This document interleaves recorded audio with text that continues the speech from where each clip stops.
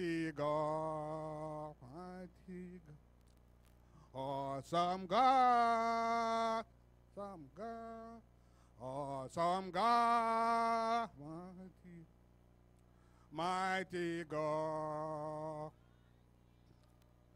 You are well praised. You are highly lifted up, awesome God. I don't want us to be cold. We are lifted up, awesome God, awesome God, awesome God. You can clap your hand. Mighty God. Awesome God. Awesome God. Awesome God. Mighty God. You would be praised. You are highly lifted up. Awesome God, awesome God, you are lifted up, mighty God, who is like unto thee. Who is like unto thee? who is like unto thee. Oh Lord, who is mine unto thee. Oh Lord, among the God. Glorious in holiness, fearful in praises doing wonders, hallelujah. God is going to do something wonderful in your life these next four days in Jesus' name. Why don't you just open your mouth and begin to worship this wholesome God? Open your mouth. I don't want us to be cool. We are not. We are in the presence of our God. We are not in the funeral place. We are in the presence of our God, where Jesus Christ is already waiting for us. His blessings already waiting for us. Open your mouth, open your mouth and just begin to worship this clip, God. This this all of God. This wonderful God. Open your mouth. Open your mouth and praise Him for who He is. Is the reason for our gathering. It's our God. Our gathering is unto Him this night. Our gathering is unto Him this day. This next four days, we shall be in the presence of our Lord. The Bible told us that there is joy in the presence of the Lord. There is joy in the presence of the Lord. Open up your mouth. Open up your mouth. Open up your mouth. I don't want anybody to be quiet at this time. We're in the presence of our God. We're in the presence of our awesome God. Glorious in holiness. That's what the Bible tells us about him. Glorious in holiness and fearful in praises. Let's bless, let's lift up the name of the Lord this morning. Let the heaven know. Let the heaven know that there's a group of people the, uh, here calling upon his name. Let the door, let the, let the door of the, of the heaven change. Open your, your mouth, open your mouth, begin to praise him. Begin to praise him for who he is. Begin to praise him for his power. Begin to praise him for his loving kindness. Begin to praise him for his wonderful work. He said, when I look at the work of your hand, oh God, I fear. I fear. Fearful in praises. Almighty Father, we just want to bless your name, oh Lord. As we're about to start, oh Lord, this, this convention, Father, oh Lord, we need your presence. We need your presence among us. Come down in your power. Come down in your majesty. Come down in your power. Father, we bless your name, O Lord. King of glory, we worship your name, O Lord. We magnify you in our heart, O Lord. We sanctify you in our heart, O Lord. Open your mouth, open your mouth, open your mouth, open your mouth. Begin to worship this God. Angels in heaven are worshiping. Angels in heaven are worshiping. They are saying, Holy, holy, holy. Let's join the angelic host this, this evening. Let's join the angelic host. Let's join the, let's join the angelic host that are shouting, that are praising the Almighty God. Heaven is his home, O Lord. Heaven is his home and the earth is his footstool. Our God is so mighty. Who can compare with him? Who can, who, who, who can we compare him? Who is like unto thee, O Lord? Who is like unto thee, O Lord, in all the earth? Who is like unto the glorious in holiness? glorious in holiness, glorious in holiness, and fearful in praises. He's fearful in praises. He's fearful in praises. Let's bless the name of the Lord. Let's bless his name this evening. Let's worship the name of the Lord this evening. Let's give him glory that is due to his name. Psalm 34 tells us to say, Open up your gate, O ye gates, and let the King of glory come in. Let the King of glory come in. Open the gate of your heart this night. Open, your, open the gate of your heart this night and begin to worship. Begin to worship this Lord. Begin to worship this Lord. Begin to worship this Lord. Begin to worship this Lord. Give to him every glory. Every glory that is due to his name. Let's give unto him. Let's give unto him. Let's praise him. In Jesus' name we worship. In Jesus' name we worship. Do you know Jesus Christ is already here waiting for you? Let's lift up the name of Jesus Christ. That name that is above all name. That name that is so precious. That name, the name that redeemed you from your sin. The name, the name that, that sit down here and tremble. Let's open our mouth and begin to worship the name of Jesus Christ. He's the Son of God. He's the Son of God. Let's worship his name this evening. Let's worship the name of Jesus Christ this evening. Let's give him glory that is due to his name. Let's give him glory that is due, to his name. Let's pray, let's pray, let's pray, let's magnify the name of the Lord. The name above all name. The name above all name. The name that sit down here and tremble. Let's open our mouth and worship the name of Jesus Christ.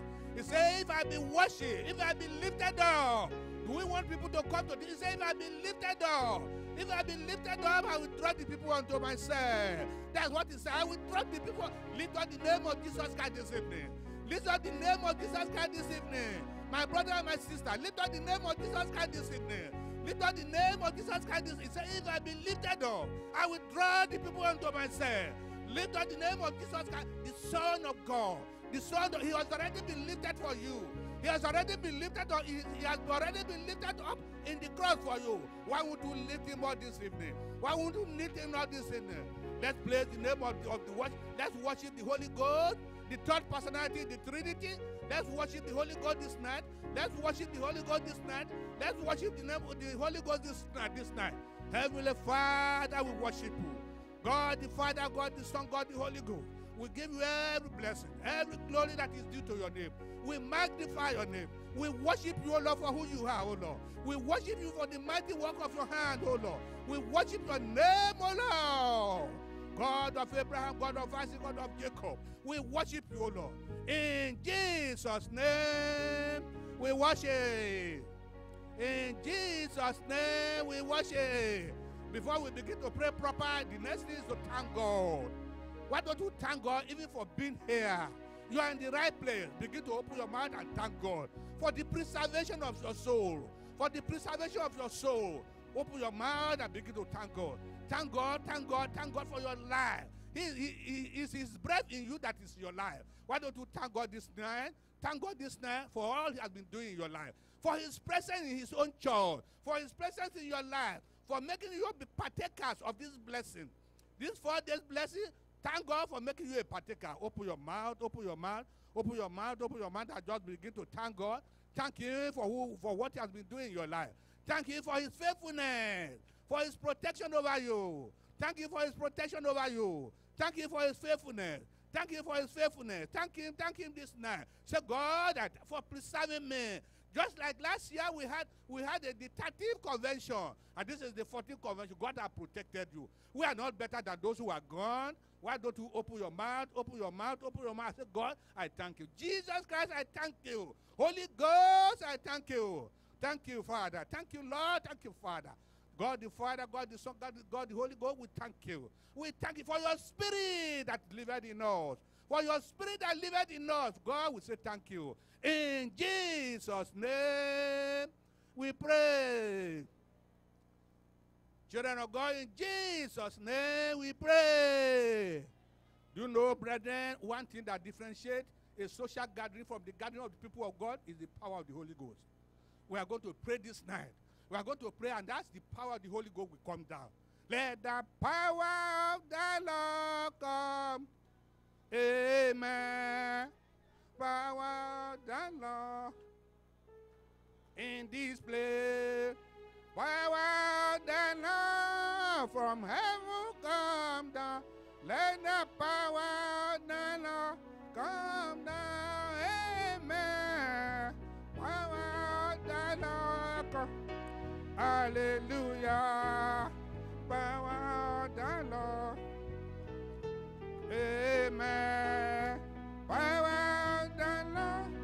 From heaven come down. And the power come down. Amen. Let me read something to us and we will turn it to prayer. And when the voice of the trumpet sounded, just as our voice are sounding now, say, and when the voice of the trumpet sounded long and was louder and louder, Moses spake and God answer. God is going to answer us in Jesus' name. I say, and God answered. And God answered him by a voice. During these four days, God is going to speak to you. You are going to hear the voice of God. That is, the declare, that is what the word of God is telling us now. But the next verse say, and the Lord um, and the Lord came down. That's going to be the point of our prayer. That God will come down in this place. That the Spirit of God will come down. As He came down Mount Sinai, God, God is going to come down. And the Lord came down upon Mount Sinai on the top of the hill. We are going to pray. We are going to pray. We all know that there's a convention going, going on somewhere. A different convention. We don't know what we are hearing about that. This is the convention of the children of God. We are going to pray that the power of the Most High will come down. Open your mouth, open your mouth, open your mouth. When the power, when the when the Spirit of God comes down, when the presence of God comes down here, it's going to make a difference in your life. It's going to make a difference in your life. These four days is going to be a four days of explosion. Explosion, spiritual explosion. Spiritual explosion. Let us pray, let us pray. Let us pray. Power, invoke, invoke the Spirit of God. Invoke the Spirit of God. We want to say the Spirit of God will fill this auditorium. The Spirit of God will fill this sanctuary. Pray, my sister, my brother, pray. Open your mouth, open your mouth. We don't want we don't want corners. We don't want corners. We don't want corners. As the mountain Sinai was smoking, as the, so it was smoking because of the presence of God. This next four days, we want to see the power. We want to see the power of the Almighty God. We want to see the power of the Almighty God moving His church. We want to see the might and when the power of God is moving, nothing shall be impossible. When the power of God is moving, nothing shall be impossible. When the power of God is moving, nothing shall, nothing shall be impossible. Nothing shall be possible. The word that is coming from the mouth of our, of our, of our leaders, of our ministers, they be, they, they be speaking miracle. They be speaking conversion, transformation of heart. Let's pray. Holy Spirit, come down. In your power, come down. In your spirit, come down. In your power, come down. Come down in your power. Come down in your majesty. Come down in your mightiness, oh Lord. Oh Lord, come down, come down. We need your presence. We need your presence. We need your presence. We need your presence. It's your presence that makes all the change. That's why Moses said, if you not go with us, if your presence will not go with us, I will not go. God, let your presence come down. Let your presence come down. Let your power come down. Let your power come down. When your power come down, oh, we are satisfied. When your power come down, when your power come down, there's nothing we, nothing, nothing we will speak unto you that will not answer. We pray God is going to thunder. God is going to thunder. This four days, God is going to thunder. There's going to be spiritual earthquake here. Spiritual earthquake, spiritual explosion. We are going to pray. Open your mouth, open your mouth, open your mouth, open your mouth, open your mouth, open your mouth. In Jesus' name, we pray. In Jesus' name, we pray. Brethren, we are going to pray and commit all our ministers. All our ministers. Commit into the hand of God. We are going to commit this pulpit into the hand of God. That every word that will be coming from this pulpit, through our ministers, everybody that will be eh, coming to this altar to minister, the choir, the, everybody, that God will speak through them. That our minister will speak like the oracle of God. And the angel will become spirit and be distributing blessing. Open your mouth, open your mouth, commit our minister into the hand of God, that they will speak like the oracle of God. That they will speak like the oracle of God. Remember, he said, It's not my word. He said, It's my word, not like fire or, or, or, or, or, hammer that breaks the mountain into pieces. We are going to pray. Every word that will be coming out from this pulpit, every word that will be coming out from, from, from our ministers, from our ministers, from those messages, live and live and, and recorded, it will come with power. Those what will come with power. Those messages will come with power. Oh, it's going to come with power. Souls, life will be transformed. transformed. Heart will be transformed. Heart will be transformed. Miracle galore. Miracle galore through the word of God. He said, I honor my word even more than I honor my word even more than I, by, by my name. He said, I honor my word more than my name. Let us pray. Let us pray. This next four days, God is going to honor his word. God will honor his word concerning your life. God will honor his word concerning your life. God will honor his word concerning your life. As word of wisdom will be coming out. Word of wisdom will be coming out through those messages. As word of prophecy will be coming out through those messages. Uh, through the teaching. I'm sure. I'm sure it's going to touch one area of your life. He said, he said, he said, he said, like the, like the, like the rain is falling from heaven, and the snow is falling from heaven over the grass, and make them to bud and green. He said, so is my word. So is my word. He said, so is my word. It will not go back to me, word. He said, do not go back to me, word. If I were you now, I would just begin to pray. I would just begin to claim those words. Begin to claim those words. You are going to hear the voice of God. That's why I read to all this this evening. You are going to hear the voice of God. God is going to speak to you. Say, God, this time, speak to me.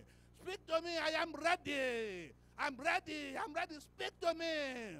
Speak to me. Speak to me. Speak to me. During this Father, speak to me. I want to hear you. I want to hear you. I want to hear you. Say, speak to me. Speak to me. Speak to me. Speak to me. Speak to me. Let me hear you. Give me the spirit of discernment. Give me the spirit of discernment to know what you are speaking to me. Pray. Pray, pray, pray. In Jesus' name, we pray. In Jesus' name, we pray. This next prayer is connected to the first one. Because you can, before you can recognize that God is speaking to you, your heart has to be to be ready. Am I, is that not true? You are going to pray. Say, God, prepare my heart to be ready. This next for the prepare my heart to be ready. Prepare my heart to be ready. Heart to receive. Prepare my heart to be ready. Clean my heart. Clean my heart and prepare ready for your word. Open your mouth and begin to pray. Open your mouth and begin to pray. Say, God, prepare my heart. Prepare my heart. Prepare my heart. Prepare my heart ready to receive. Prepare my heart to receive. Prepare my heart to receive. Prepare my heart to receive. That your word that is coming for is going to, it's not going to fall by the roadside of my heart. It's not going to fall in the hardy part of my heart. It's not going to fall on the rocky part of my heart. It's going to fall in that part, farther part. My, your word is falling that my farther part of my heart. And your word is going to multiply. Your word is going to multiply. God, prepare me, prepare my heart. Prepare my heart. Every spirit of distraction. Suddenly you, you suddenly, suddenly you become like, like Lot's wife. You remember that you left something. You, you remember that you left something. Pray. Pray against the spirit of the wife of Lot. Against that here, nothing is going to distract you. This next four days, nothing will distract you. Nothing will distract you. Your blessing will not miss you. Your blessing will not miss you. And when the angel will be distributing those, those angels, the, when angel will be distributing those blessings, Oh, when angel will be distributing those blessings, no, your own will not miss you. Because angels are going to be present. Angel will be present in spirit. Angels will be present in spirit among us. Angel will be present among, with the spirit among us and be distributing the blessing. Tell God, I will not miss my blessing. I will not miss my blessing. Open your mouth, open your mouth, open your mouth. It's what to confess. It's what to confess that will be your own. It's what to confess that will be your own. It's what to confess that will be your own. It's what to confess that will be your own. Pray this night. Pray this night. Pray this night. Pray this night. In Jesus' name we have prayed.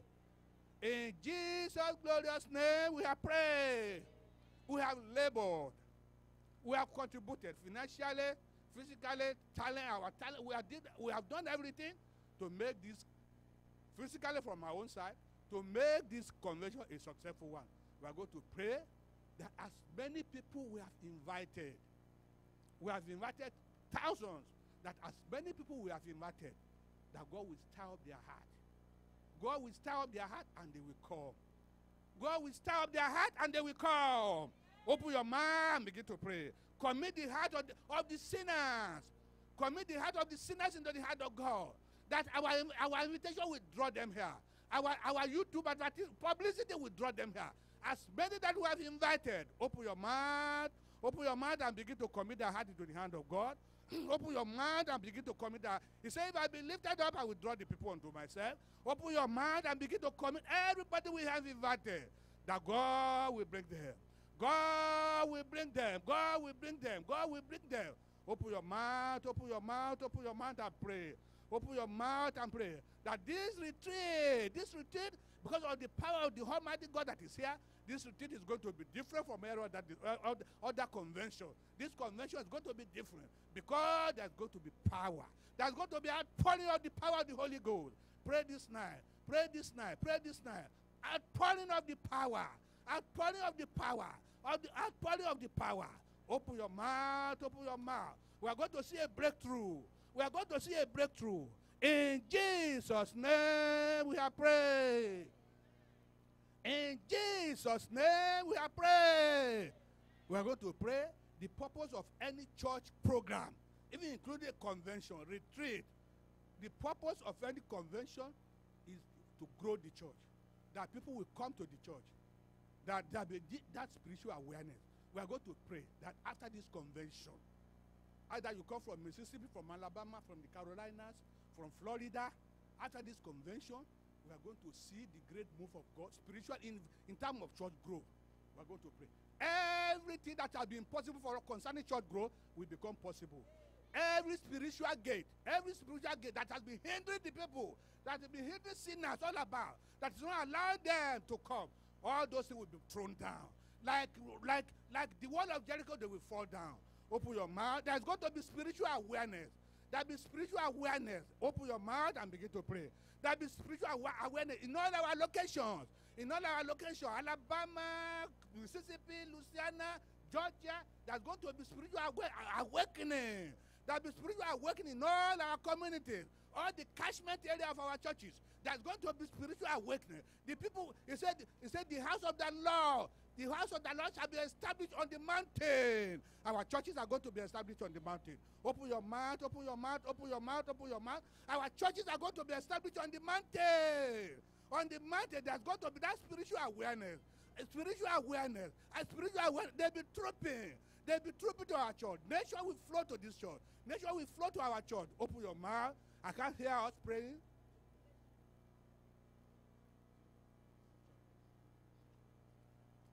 In Jesus' name we are praying.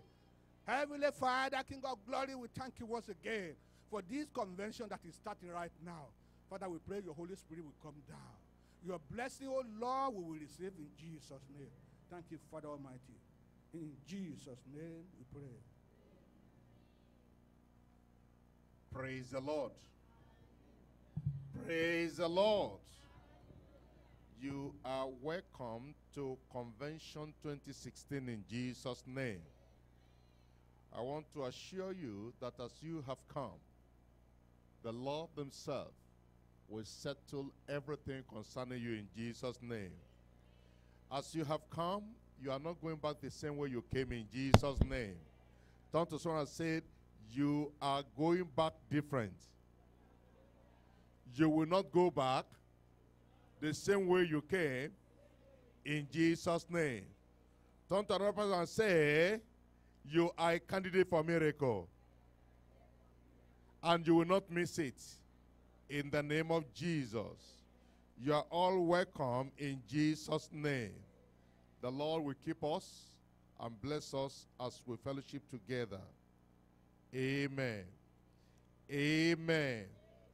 Amen. If there is anything we have come here to do this weekend, it is that the Lord will touch us, change us, melt us, mold us, and make us to be like Christ Jesus. And so we are going to sing "Go to be like thee, but then not just tonight, not just tomorrow, not just next tomorrow, this is going to be the foundation of your heart desire every day of your life. That you will be more and more like Christ in Jesus' name. As we remain standing, we're singing from our program book on the 16th page. Oh, to be like thee, blessed Redeemer. This is my constant longing and prayer. Gladly I'll forfeit all of its treasures. Jesus, thy perfect likeness to wear.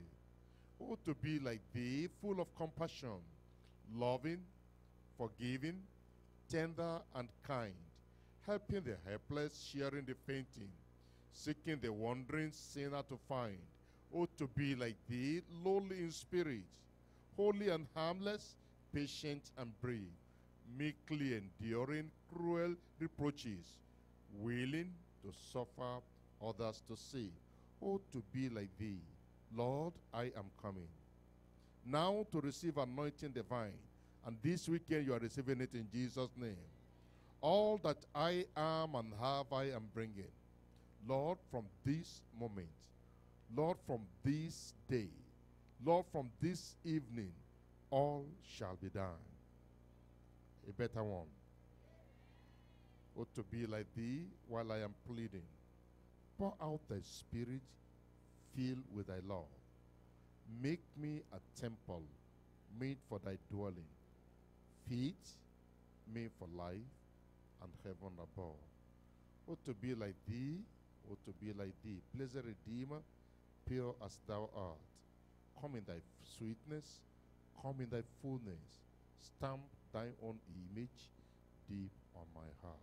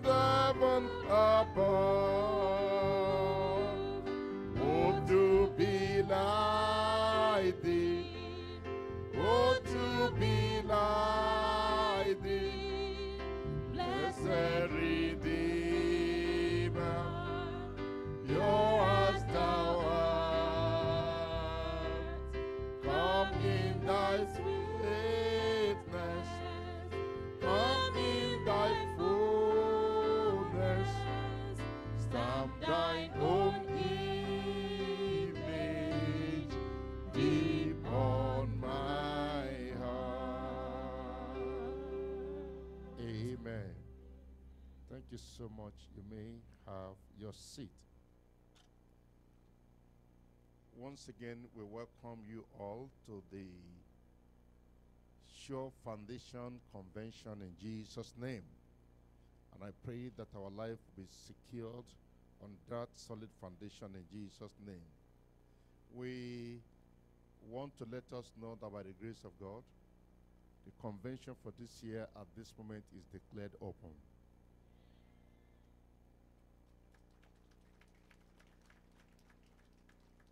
And your heaven is open. Your cup will be filled to the brim and overflowing in Jesus' name. And for those of you that came very, very early, I see Florida people are here already. I see Tennessee people are here already. I see some from Charlotte, they are here already. Your blessings will come very early. Atlanta people, you are here already. You are blessed. And you continue to be blessed in Jesus' name. And as we all work together, cooperate together by the grace of God, this is going to be about the best convention in Jesus' name. So go, get ready to be blessed. Before I call the first minister uh, for the night to speak to us, I just want to let us know that we are blessed to have some of our regional overseers together with us in the house. Amen. And uh, we have Pastor Oni from New Jersey here with us. Pastor Oni.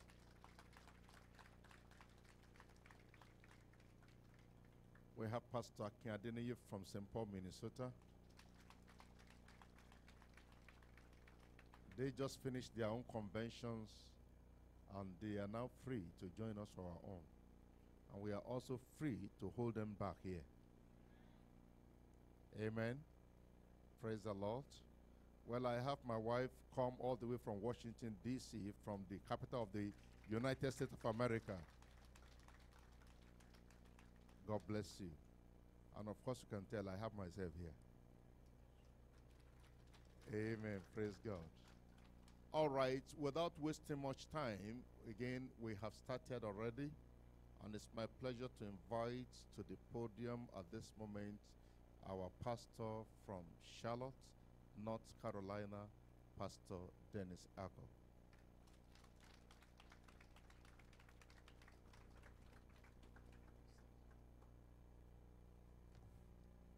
Praise the Lord. Praise the Lord. Uh, it's my pleasure to open the messages that we have for this convention. And uh, as Pastor said, uh, we will receive the best of all from today till we finish in Jesus' name. We're going to bow down our heads as we talk to the Lord in prayer. Father, we thank you. We bless you for bringing us together once again in this year's convention, and it's 2016. Lord, I'm asking that you will even do more than we have ever seen in our conventions in Jesus' name. Thank you, dear Lord, for bringing us together from all our states and our cities and from our various locations. For those who are yet to arrive, we pray you will bring them here safely in Jesus' name.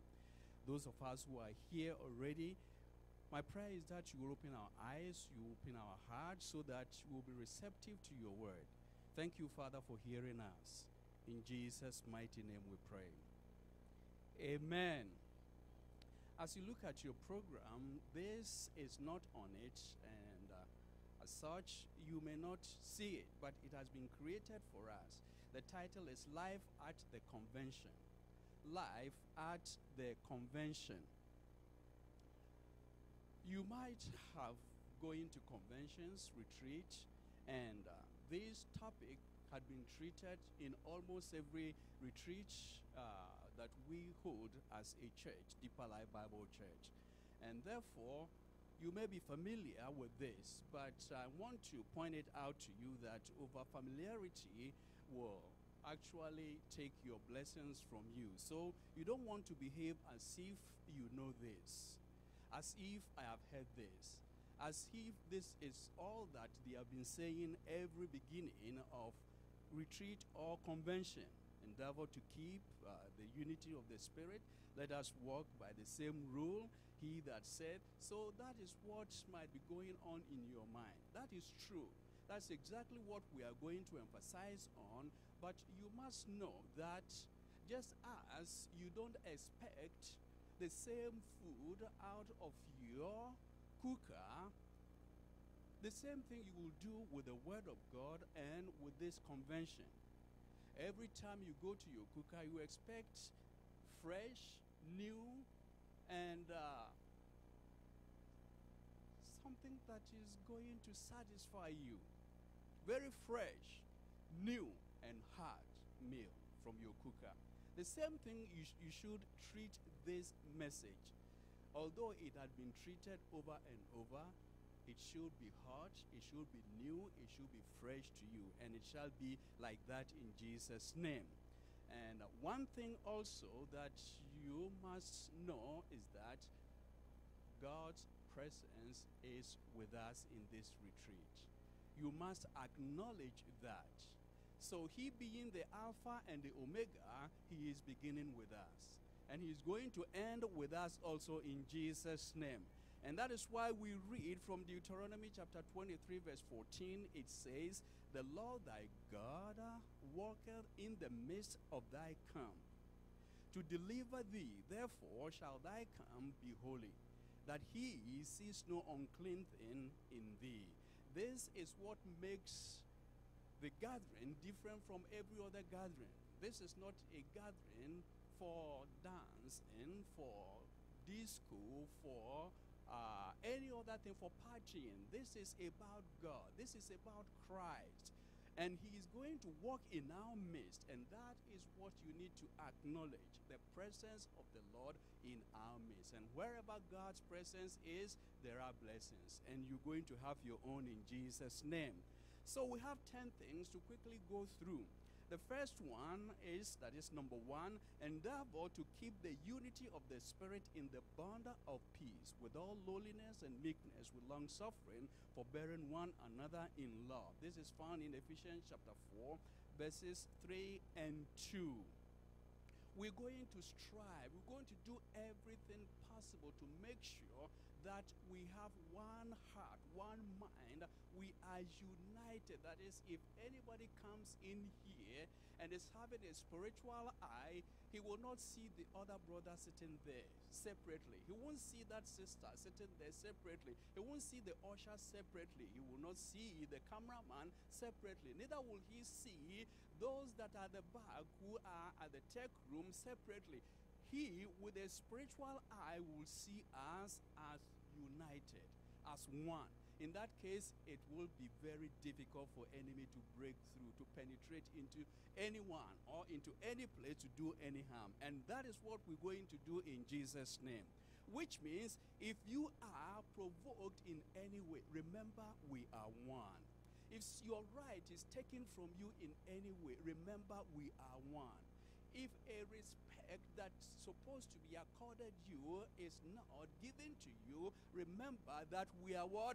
We are one. Number two, let us walk by the same rule, let us mind the same thing. This is found in Philippians chapter 3, verse 16. See, every society has a rule, they have guidance, they have laws. Show me a society that does not abide by their rules, then I will also tell you where you find chaos. You have you find confusion.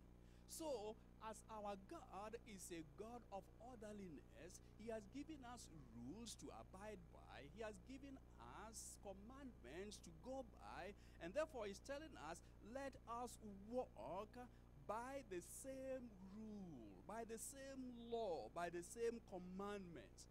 This is the rule, the law that guided the upper room disciples, that brought the power of the Pentecost down. And if we will walk by the same rule, by the same commandment, then the power of God is going to de- descend upon our lives in Jesus' name. And that we will have the upper room experience. Number three, he that saith he abided in Christ ought himself also so to walk, even as Christ walked. Whosoever transgresseth and abideth not in the doctrine of Christ hath not God. This is found in First John chapter 2, verse 6. First John chapter 2, verse 6. I read it again. It says, He that saith he abideth in Christ. This is for those of us who are sure we are saved. Look at it very well. It says, He that said, it's not that the pastor is saying he is saved. It's not that the husband is saying that he is saved. Or the wife is saying that, sorry, the husband is saying uh, she is saved. Or the wife is saying he is saved. It's not that a friend, a leader is saying he is saved. Saved. It's he himself that is saying, I am saved. He is sure of it. And he says, if you are sure of your salvation, if you know that you have been touched by heaven, if you know you have visited Calvary, if you know the cross has taken your sins away, then you have to walk as Christ walked. How did he walk? He walked in love. He walked in mercy. He walked in kindness. He walked to help people. That's exactly what you are going to do as this convention goes on. Number four, be thou an example of believers. Be thou an example of believers. And I want us to read from First Timothy chapter 4. First Timothy, read from chapter 4, verse 12. First Timothy chapter 4, verse 12. It says, Let no man despise thy youth, but be thou an example of the believers in word, in conversation, in charity, in spirit, in faith, in purity.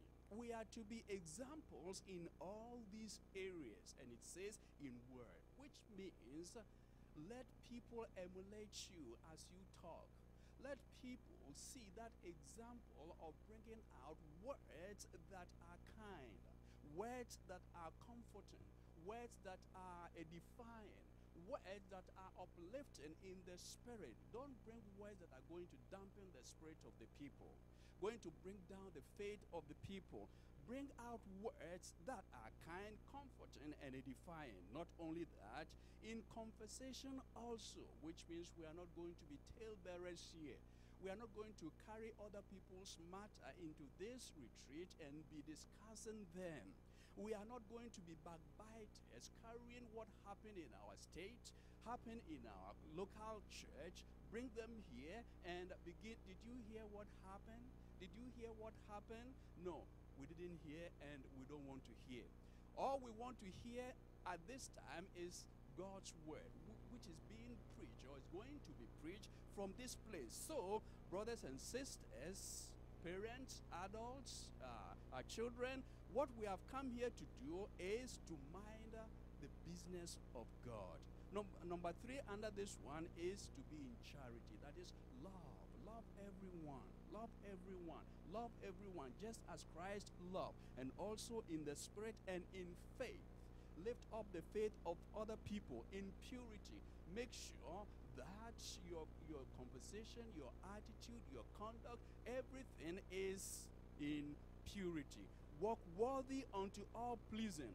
Walk worthy of the vocation wherewith ye are called. Walk worthy of God. What this is telling us is you walk like a king, you walk worthy. Walk like a prince or a princess, walk worthy. Walk like the president, walk worthy. Walk like a minister, walk worthy. You see, you have to act in a way that people will respect you. Don't bring yourself down. Walk as a minister. And we are not just talking about walking this walking across uh, the uh, the church or walking outside. We're talking about the conduct, your. We're talking about your character, your mannerism, what constitutes you as a human being, and not just as a human being, but as a child of God, as a Christian, and to go further, as a child of God in this church that we call Deeper Christian Life Ministry or Deeper Life Bible Church. You have to walk as Christ walked, and we will do that. And you know, as Christ walked, Christ's attitude always attract people to respect and also to see him as a worthy person. And that's exactly what you will do. Number five, let no filthy, filthiness, foolish talking, nor jesting be once named among you as becometh sin. Walk worthy, that is in Ephesians chapter 5, 3 and 4. Ephesians chapter 5, 3 and 4. Let no filthiness, foolish talking, nor jesting be once named among you as becometh sin. That is, if you have become a child of God, if you call yourself a Christian, then you must live a life that is that corresponds with being a child of God. That is, you've been risen from the ordinary man, from the world. You have been elevated into a position that ought to be high over there, which means your language is not a gutter language.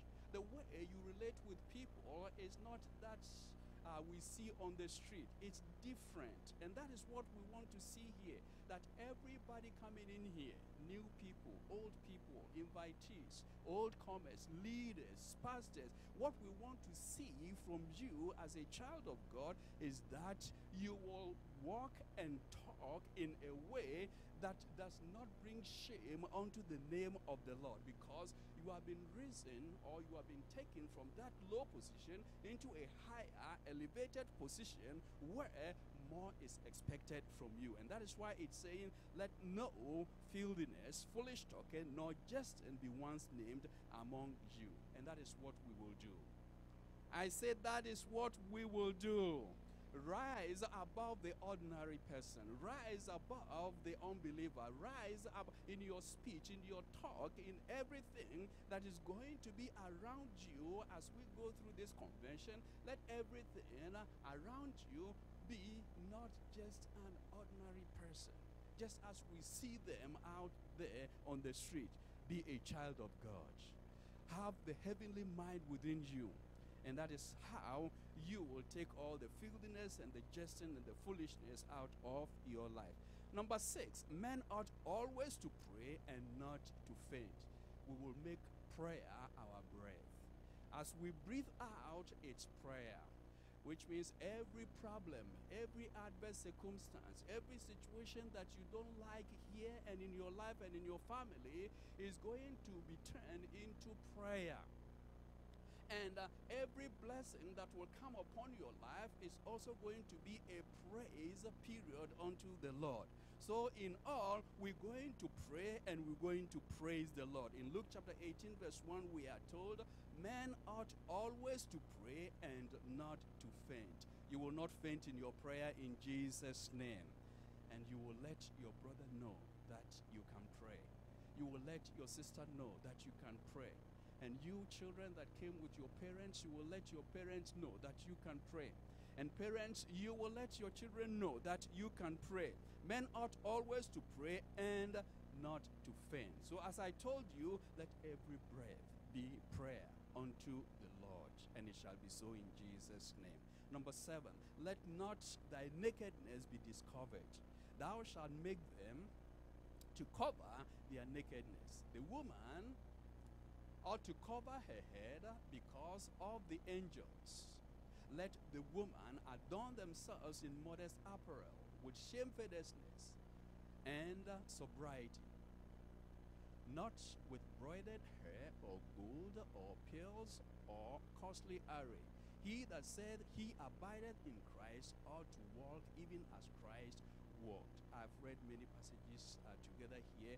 You can find them in Exodus chapter 20, verse 26, 28, 42, 1 Corinthians 11, 4 to 10, uh, 1 Timothy 2, 9, 1 John 2, 6.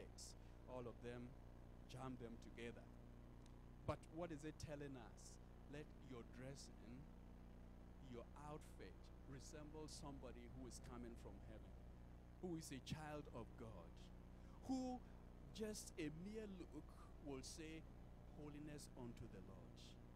Who, as we look upon, we will just uh, long to be in heaven. Don't dis- uh, uh, uncover your nakedness. Make sure, especially those of those of you women, make sure that you dress in a way that the men here are going to keep their holiness and their purity because we want the Lord to bless us and we want him to walk in our midst. Remember the first place where we I read to you in Deuteronomy chapter 23 verse 14. I repeat it here again. It says, "The Lord thy God walketh in the midst of the camp to deliver thee. Therefore shall thy camp be what? Holy, that he sees no unclean thing in thee." You know, the Lord is coming in his mighty power, just as our pastor told us. It's going to be a different convention and is coming to distribute unto us the blessings that he has parceled for us for this convention. But then he has to see holiness, he has to see purity, he has to see that which is perfect in heart. He has to see something that will not turn him away because he has full of blessings in his hands just for you and just for me. I pray nothing will turn him out from us in Jesus' name. And that before this convention will come to an end, you would have already received your own blessings from above. Number eight, not forsaking the assembling of ourselves together. Not forsaking the assembling of ourselves together. This is in Hebrew chapter 10, verse 25. And what does it mean? It means make sure that you do not have your personal convention at your hotel. Gather here when it's time. It means you are not going to have your personal convention outside. Make sure you gather here when it's time. You, you, you have to have a purpose of coming here. And you must know your reason of coming to this place. So you don't want anything to distract you and to take your heart and your mind from your reason of coming to this place. You came for a blessing. You came to worship the Lord. You came to serve the Lord. You came to fellowship with fellow brothers and sisters. You came to listen to the word of life, to drink from the water, the fountain of life. That is your reason of coming here. Therefore, you don't want anything to distract your attention. You do not come for sightseeing. I have not been to Atlanta before. This is my first time. Let me go and see how Atlanta looks like. That's not your purpose. That's not your reason of coming here. We came here That is why uh, Paul is telling us through Hebrews that don't forget the assembling of yourselves together.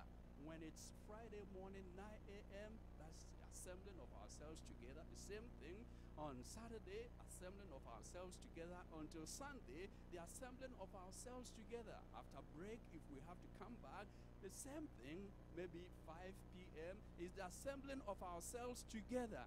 And you did not come to visit any family member here, no friend here. Oh, I remember somebody told me that one of our classmates, our schoolmate, our college mate is in Atlanta. He lives, they gave me his number. They gave me her number. When I go to Atlanta, I'm going to find him out. That's not the reason you came here. You came to do what? To listen to God's word do not allow anything. Neither did you come here because of business. My business partner is in Atlanta. When I go there, I'm going to meet him. We're going to discuss about business. Let me ask you, is that the reason of coming? Is that your reason of coming here? You know that is not.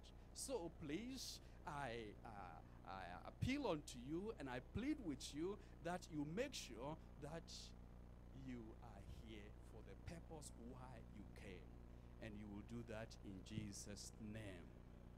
Number nine, is any sick among you? Let him call for the elders. If you are sick, if you are sick, call for the elders.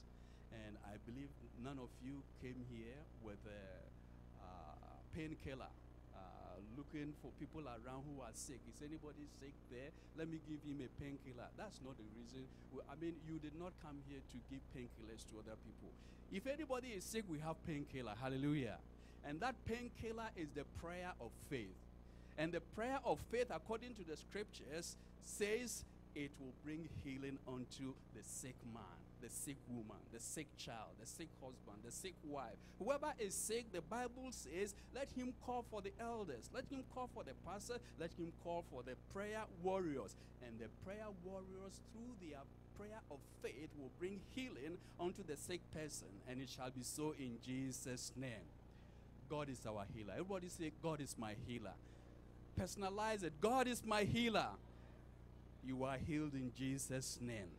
Number 10, every word of God is pure. Every word, every word. Thou shalt not add thereunto, nor diminish from it. If there come any unto you and bring not the, this doctrine, receive him not. Mark them which cause division and offenses contrary to the doctrine which ye have learned, and avoid them. He that abideth, he that biddeth such Godspeed is partaker of his evil deeds. I've also added many quotations to the uh, to which uh, read them to you from Proverbs chapter 30 verse 5, Deuteronomy chapter 12 32, first second John 10, and Romans 16 17, second John 11. Read everyone to you. Now, it says every word of God is pure. Every word of God is pure. Now, you have to understand that the foundation of our gathering here is on the Word. If you miss it, you've missed everything. And that's what I told you from the onset that you may look at this as nothing. It's like something we do every now and then. But it's just like instruction that is being given unto you when you're going to write an exam. You may write your exam and do perfectly, but if you don't read your instructions very well, you may do well in the exam, but because you mess up in the instructions, you may also fail the exam. And the same thing is what we are looking at here. This is the foundation of the retreat. Whatever blessing is going to come onto you through this uh, life in the camp. So if you don't heed to the instructions, you don't obey the instruction, then the blessings also are going to elude you. You are not going to have them. Why? Because you did not follow instructions. But if you really want to have all the blessings, blessing in salvation, sanctification, Holy Ghost baptism, consecration, wanting to do more for the Lord, having power to launch out yourself and bring souls into the kingdom. You want to have faith to preach and also pray for the people to be healed and to help them out of their problem. This is your desire. God is ready to give you. But if you mess up in the instruction and you don't follow the instruction, then you are not going to receive the blessing. And that is why it's very necessary, it's important that we take this very serious. These 10 points, we take them serious. And this last one says, every word of God is pure which means it does not matter who is preaching it. It does not matter from what mouth, what lips it's coming out from. It may be your husband. The Bible says every word is pure. I know my husband. I know how he preaches. I have been listening to him every now and then. No, this must be different because the Bible says every word of God is what is pure. If it's coming from your son, the same thing is the word of God is it's pure and you have to take it. It may be coming from somebody you brought into the Lord. That is your own convert. If it's pu- if it's the word of God, then it's pure. You have to take it. It could be your somebody that you are discipling that is standing here to preach to you. The same thing. If it's the word of God, then it's pure. That you should take it. Maybe you are mentoring somebody, and that is the person that is going to stand up here and give us the word of God. As long as it's the word of God, it is pure, and you must take it. You know what? The word of God never dies. You might think, well, Peter, Paul, and the rest wrote them, they are dead. Then it means we are reading words that came from dead men. But the word of God did not come from dead men, it came from somebody who is alive. And the man, uh, the Lord who gave us the word, is still alive. So his word is still alive.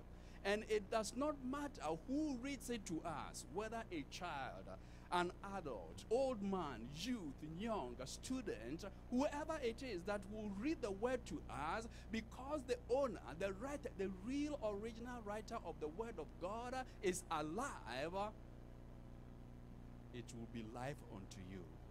And it doesn't matter who is going to bring it unto you. And for this, I want us to stand up and uh, tell the Lord that God, we have come not for anything but your word. Because your word is pure, it's power, it has authority. And I want it to come to me and do unto me whatever you will send it to come and do to me. Right from now, we're going to hear the word of God. I pray you prepare your heart that God will rain upon your heart so you will drink the word of God.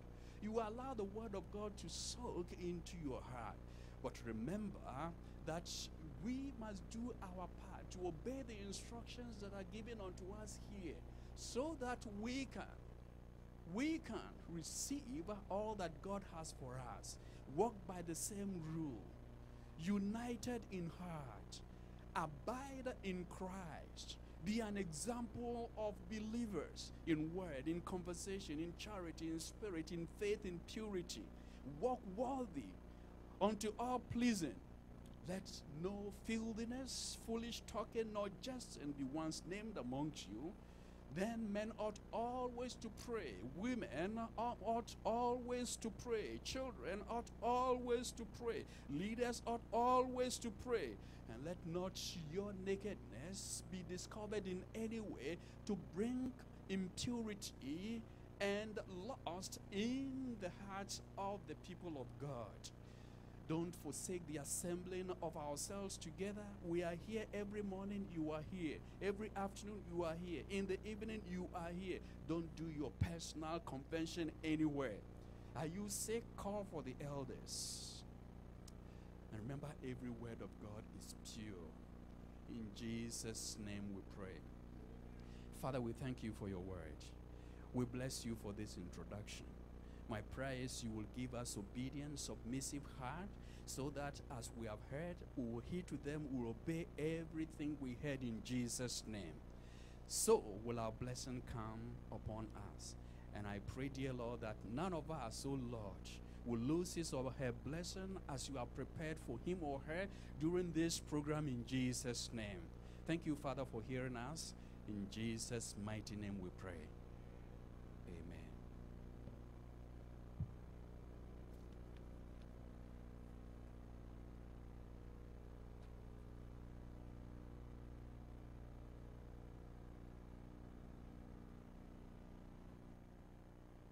Obedience in Jesus' name. I want to test that obedience right now. So we look so scattered. We look so scattered in the church. So please obey the um, ushers as they relocate to a place. We want us to sit down more compact. Those people at the back, especially only if you are having a child. If you are having a child that you need to attend to at the back, please let all of us move forward. Ushers, ushers, please help them move forward. Let's move forward so that we look compact. God help us in Jesus' name. It's time for the choir to please come up.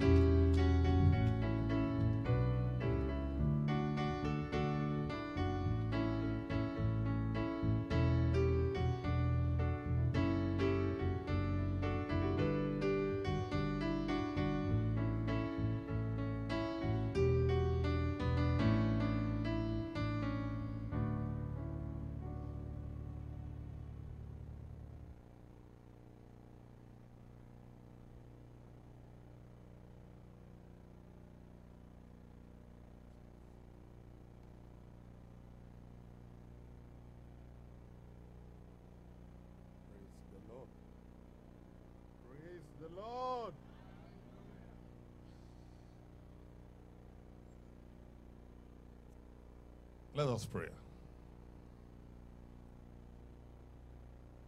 Our God in heaven, we thank you for gathering us together at this convention. Thank you, Lord, for all the preparations that were made. Thank you for all those that traveled from far and near. We thank you for what you will do at this convention. Lord, we're here before you. We ask, Lord, that you will have your way in all that we do and all that we transpire here in Jesus' name. Lord, we are here to be refined. We are here, oh Lord, to be spiritually made whole once again. And Lord, we pray that nothing will stop us from receiving all the blessings you have apportioned for us in Jesus' name. Lord, help us at this convention to search ourselves inwardly so that we'll know exactly where we stand. That we will not deceive ourselves and will not allow the devil to deceive us. We know, Lord, we know you want us to make it. That we don't get bogged down, we don't perish at the end. And that your will for us will be manifest in Jesus' name.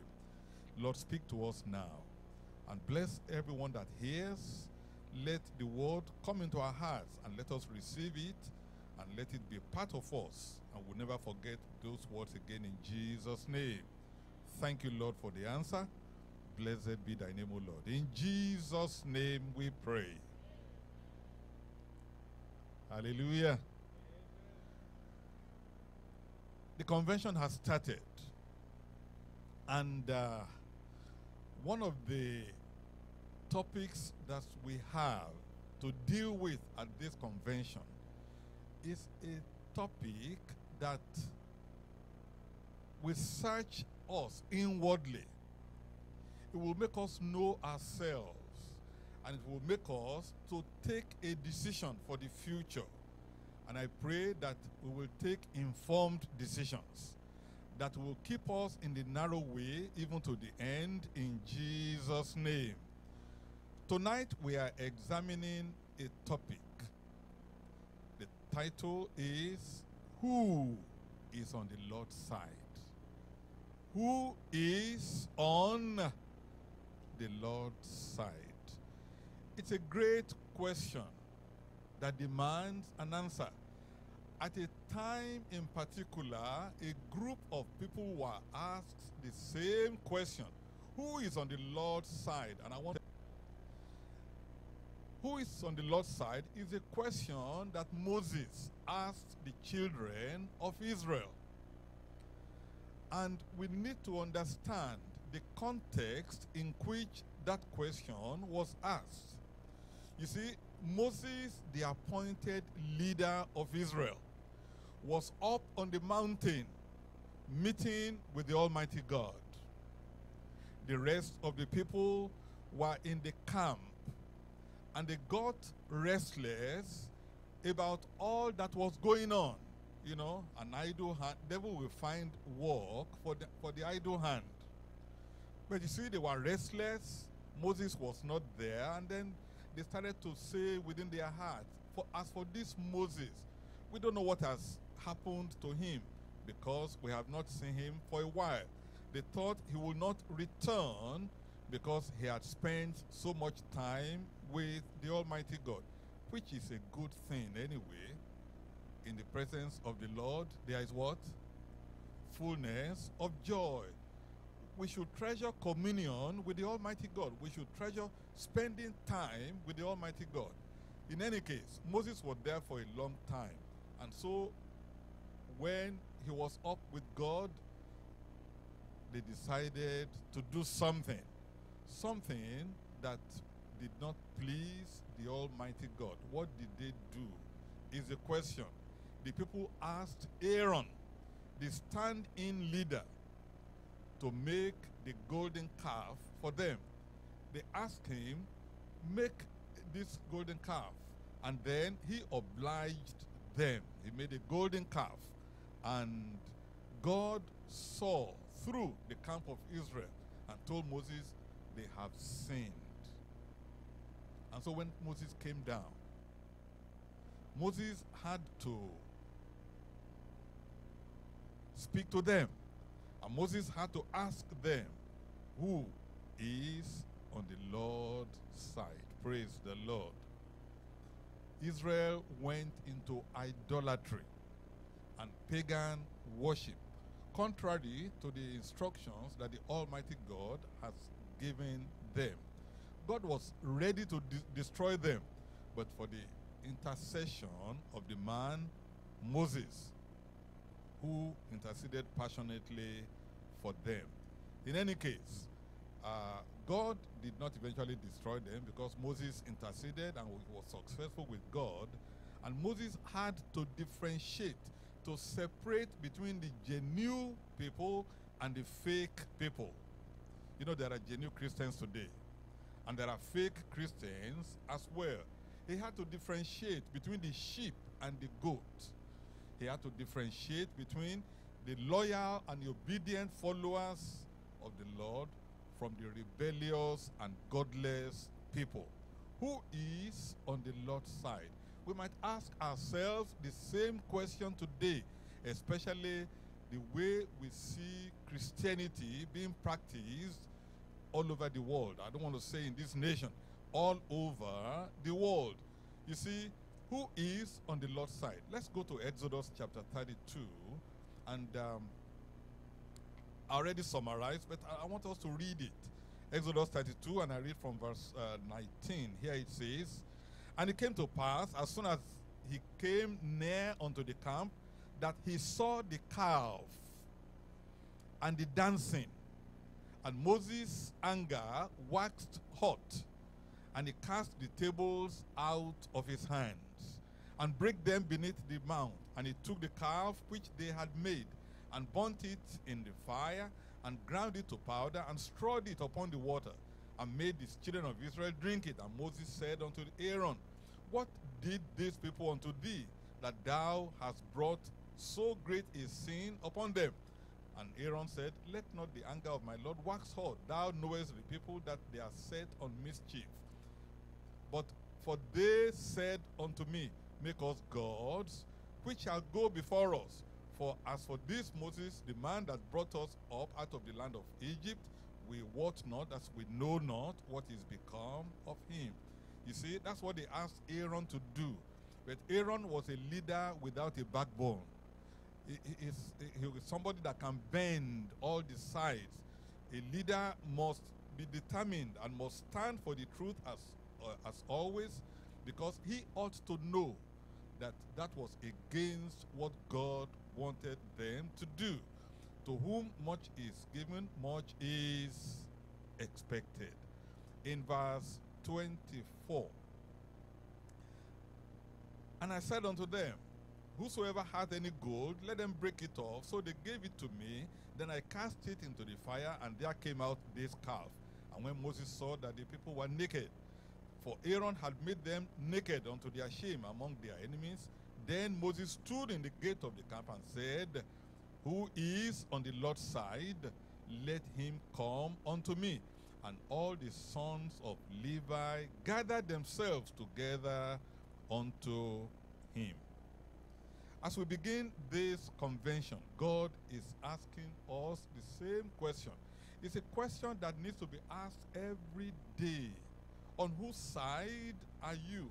Many people that call themselves Christians, quote and unquote, profess to know Christ, but a lot have slipped. A lot of people have slipped into worshiping other things. They worship riches, they worship money, they worship their jobs, they worship sports, they worship recreation. That's the, that's what they do now, and that's what uh, anything that will bring money, you see, and that is worshiping any other thing rather than the Almighty God is idolatry. I pray none of us could do that in Jesus' name.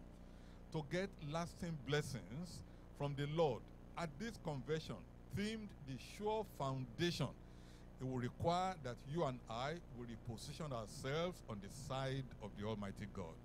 There is no shifting at all. You either serve the Lord or you serve the devil. There is no middle ground.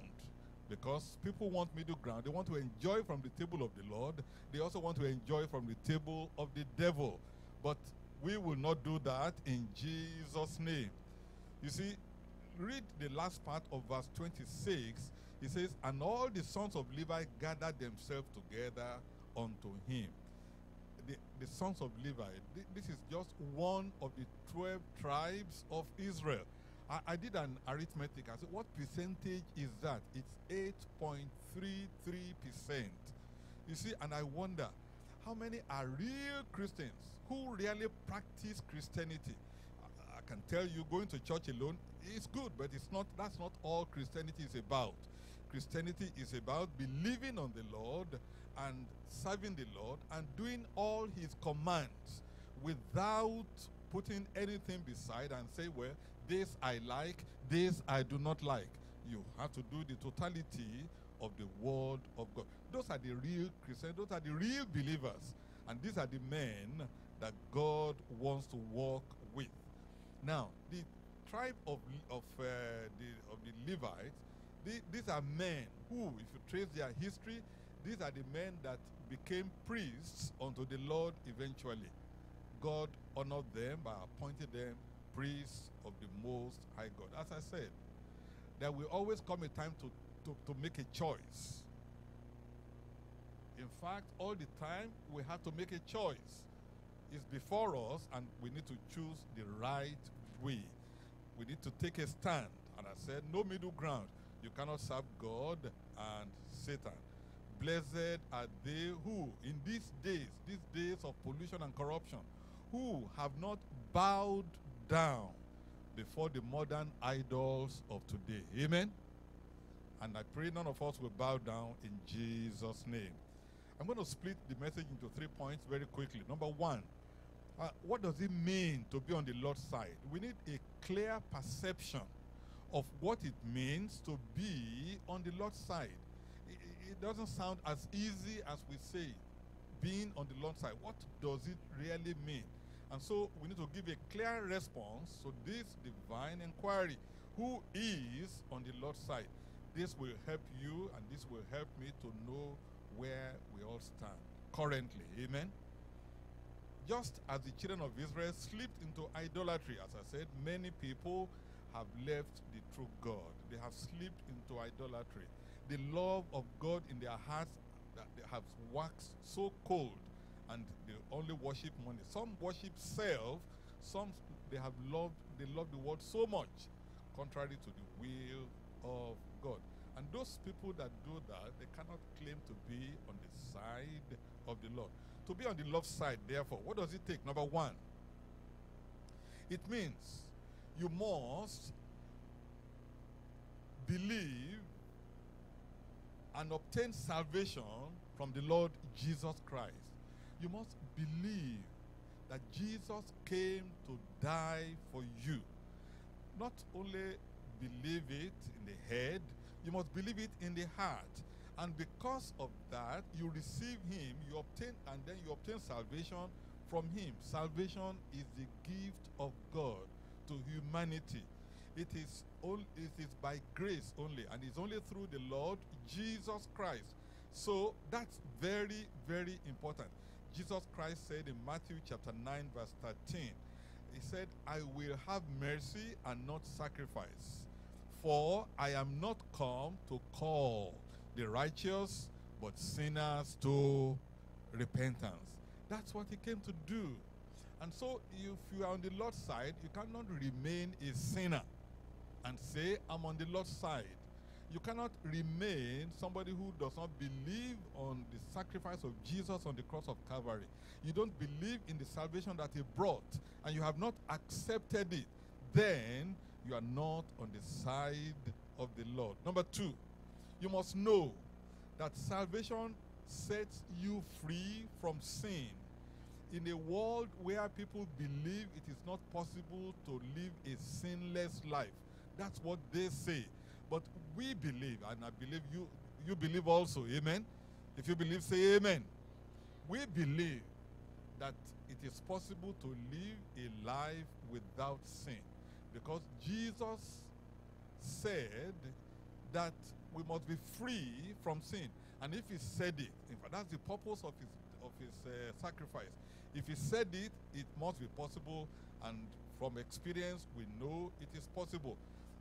Being set free from sin means you run away from sin and all vices, all vices that are so common in the society, all the lying, all the thi- all the theft, the deceits, the drunkenness, the, the, the smoking, and the sexual perversion that is so prevalent here and there. I want to tell you, my brothers and sisters, and all friends that are here, all sins defile and they constitute acts of rebellion against the Almighty God. Number three, you must separate yourself from this world. The world is polluted. And the Bible says we must separate ourselves. Don't be unequally yoked together with unbelievers. You know, you cannot show me your friend, I'll tell you who you are. That's that's that's very true in common parlance.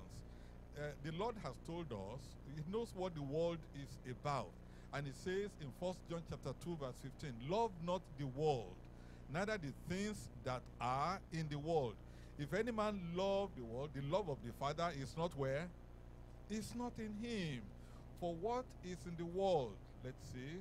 Uh, he says, For all that is in the world, the lust of the flesh, and the lust of the eyes, and the pride of life, is not of the Father, but is of the world. And the world passeth away, and the lust thereof. But he that doeth the will of God abideth for how long? I will do the will of the Lord. That is the only thing that can put me on the Lord's side. Doing the will of God at all times puts me on the side of the Lord. Number four, what does it mean to be to, to, to be on the Lord's side? You mu- we must be obedient to God and His word. Total obedience to God and His word.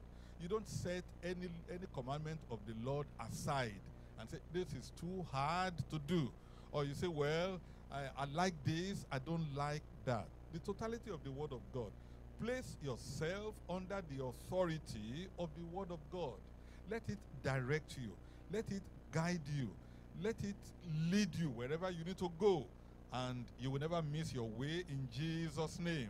In Psalm 119, verse 9, it says, Wherewithal shall a young man cleanse his way? By taking heed thereto according to thy word. Verse 11, Thy word have I hid in my heart. Can you complete that for me?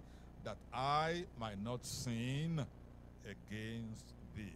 You see, this word that the Bible says it is settled forever in heaven. Say, hide it in your heart. Let it lead you, and you will never go astray in Jesus' name. Number five, always do the will of the Father. This is the test of love. The test of love. The test of love. It is the test of love. Uh, you want to show that you love that God on whose side you want to be. Whether you are alone by yourself or you are with other people, anywhere you find yourself, you set yourself aside in the midst of the pollution. Think, you know the story of Daniel, how he was in, in, the, in, the, in Babylon and had challenges. Told Daniel, "You- cannot pray in this place. And Daniel said, Well, if I don't pray, my life is gone. Amen. And so he prayed. Didn't care about the consequences. He prayed. Meshach, Shadrach, and Abednego, they said, bow down to the, to the image of the king. And they, and they said, no. The word of God tells us that we should not bow to any other image of, of created by anybody. They stood their ground. That is the test of love. And so you know the story how they were thrown into the furnace of fire and they came out without a burn on their body. Praise the Lord. You see, love Him with all your heart, with all your soul, and with all your mind. Number six, never be ashamed to take a stand for God anywhere and anytime. The sons of Levi were not ashamed. They partook of the sin of the people. You know that? They took part in the sin of the people. because they were part of the congregation of Israel. But when a time of decision came to decide whether they wanted to whether they wanted to continue with their people, you know, my people, my people. That's what some people say. My people, my people, your people. I want to be in the camp of the people of God. Amen. I want to be in the camp of the people that will obey God, that will do the will of God. And so they took a stand for God. Do that anywhere, anytime. I love Joshua. You remember Joshua?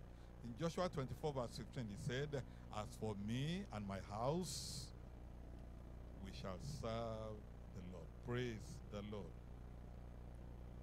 So it's very important to do all these things, and the Lord will bless us in Jesus' name. Point number two. Why do we need to be on the Lord's side? What are the consequences of not being on the Lord's side? So we need to do a profitable consideration of the reasons that are necessary to be on the Lord's side. Why do we need to be on the Lord's side?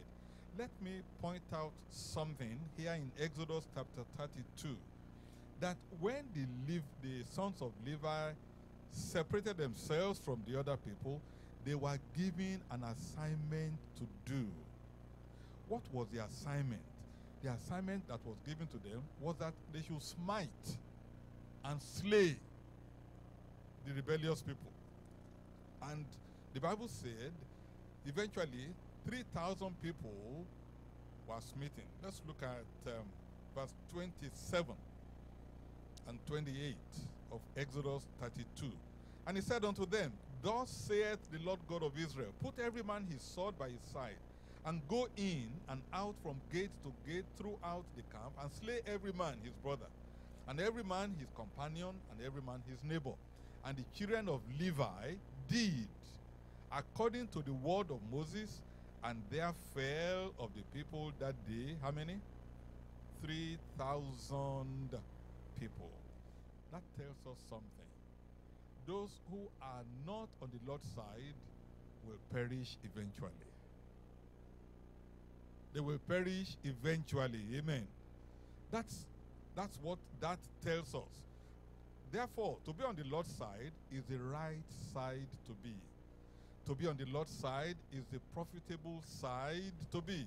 To be on the Lord's side is the, the side of blessing that every individual ought to be. It is the side that leads to life here and in eternity. We will get there in Jesus' name. In Deuteronomy chapter 30, I'm reading verse 19. Deuteronomy chapter 30, verse 19. I call heaven and earth to record this day against you, that I have set before you life and death, blessing and cursing. Therefore, choose life, that both thou and thy seed may live. That was the challenge before the children of Israel. That is still the challenge today that you and I will choose life and so live both now and live in eternity. The Lord is calling us. The children of Israel, you have seen, did a great sin against the Lord.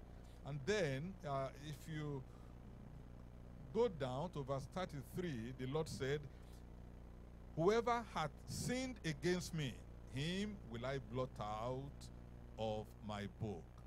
Everybody say, My book. That book is the most important book. It is the book of life. And the Lord said, Whosoever hath sinned against me, him will I blot out of my book. Well, if that person remains in that sin until death will come, of course, they might say rest in peace, but such a person cannot rest in any peace. Hellfire, there is no peace in hellfire. Amen. There is no peace in hellfire. Only in heaven can there be peace. Therefore, we need to ensure that we are on the Lord's side before we transit from this earth. It is very important that every day of our life we are we, we, we, we are on the Lord's side. We never rebel against the Lord. We never do anything against God. The same thing that was written here, God repeated it in Revelation chapter 20 and in verse 15. It says, Whosoever was not found written in the book of life was cast into the lake of fire. Sinners that don't repent will, will, will be lost in the lake of fire. Now, why be on the lost side? Number one reason I will say is that I want eternal life. I want, what about you? We want eternal life. And eternal life is only for those who are on the side of the Lord. There are two ways the broad way and the narrow way. And those two ways lead to different destinations. Jesus Christ said the narrow way leads to, uh, to life, that is, and to heaven, whereas the, the, the broad way leads to hell and destruction eventually. Let's look at it in Matthew chapter 7, verse 13 and 14. Matthew 7, verse 13 and 14. Enter ye in at the strait gate, for wide is the gate and broad is the way that leadeth to destruction, and many there be which go in thereat. I'm not one of them. Because strait is the gate, and narrow is the way, which leadeth unto life, and few there be that find it. That's the road that I'm walking on. It's the side is a, is, is the Lord's side.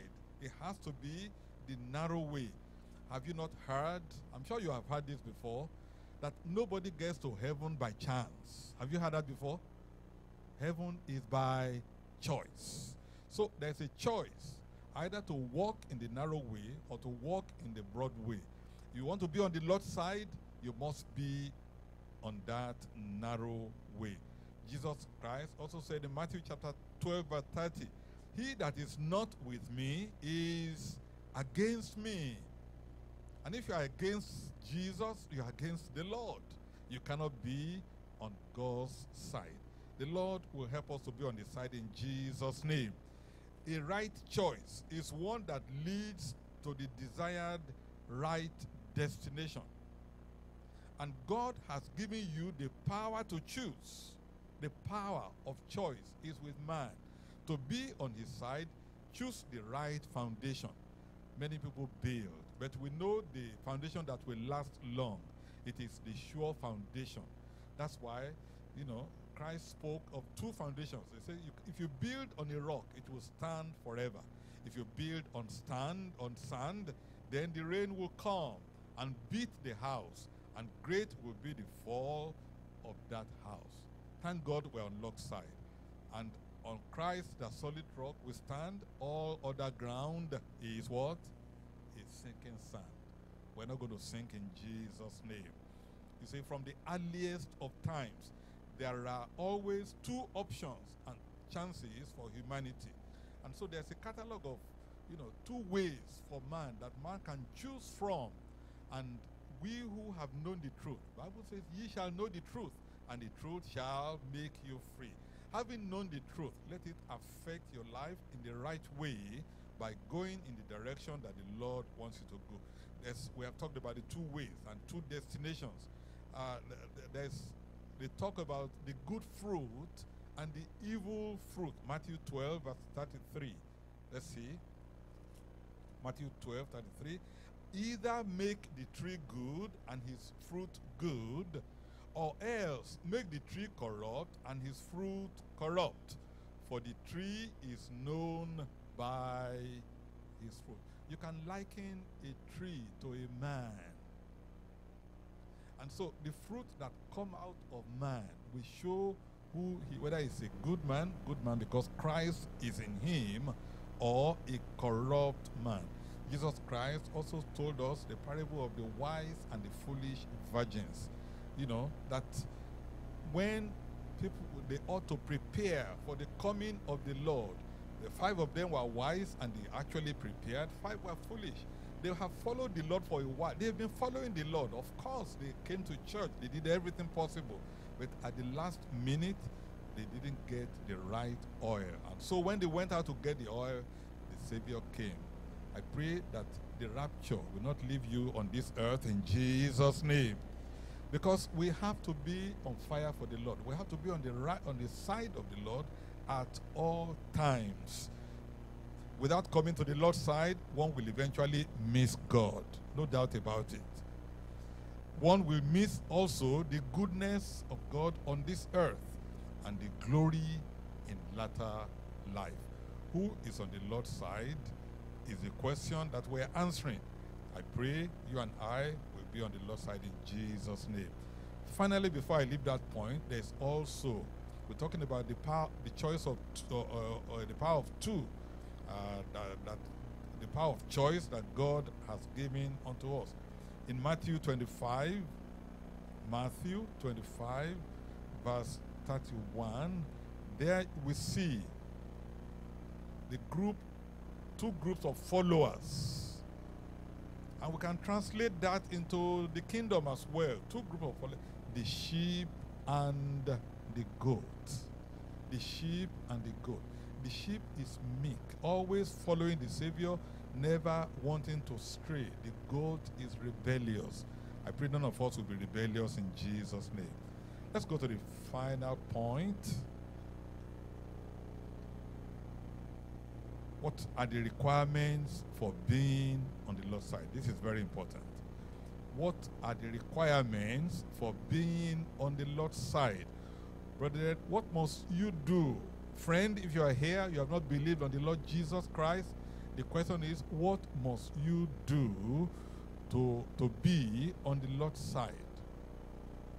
It is both striking and significant that only one tribe, the sons of Levi, came up and crossed to the Lord's side.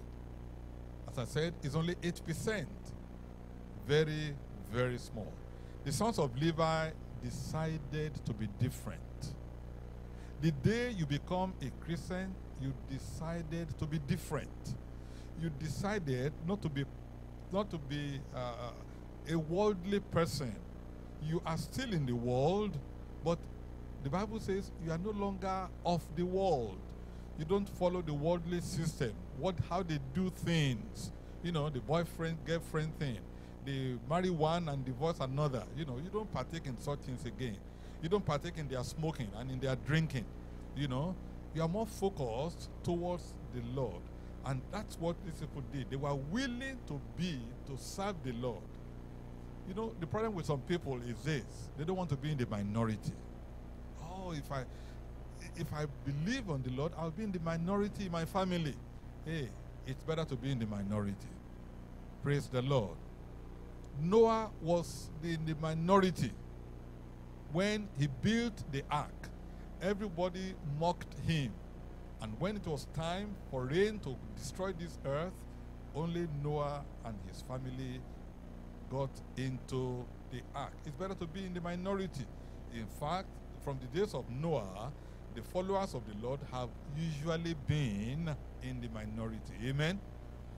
Elijah, the man of God, was in the minority when he confronted 450 prophets of Baal. He, he, he wasn't ashamed to be in the minority. He knew the God that he was serving. And he said, If God be God, let's serve him. And there was a contest, you know that story, and God responded. God will respond to you. He will respond to your prayers in Jesus' name. And uh, in, in, in the days of uh, Luther, Martin Luther, you remember, if, if you have read that before, he was the lone man who brought revolution to Germany and Europe. And then in Scotland, you have heard about John Knox. Amen. John Knox was alone. You know, his preaching and his prayers, the queen feared more than the army of soldiers. So we need to ensure that we choose the narrow way that leads to life. Number one thing, what do you need to do? You must acknowledge that you are a sinner. The Bible says all have sinned and come short of the glory of God. The problem with man is that we rationalize. The problem is that we don't fully agree that we have sinned. Some people are so moral. Well, but I've not stolen, I've not told lies, I've not done this. They just give stories. But Bible says all have sinned and come short of the glory of God. The sin of our forefathers, until we repented, those sins were on us. Amen. And um, you agree with the Lord.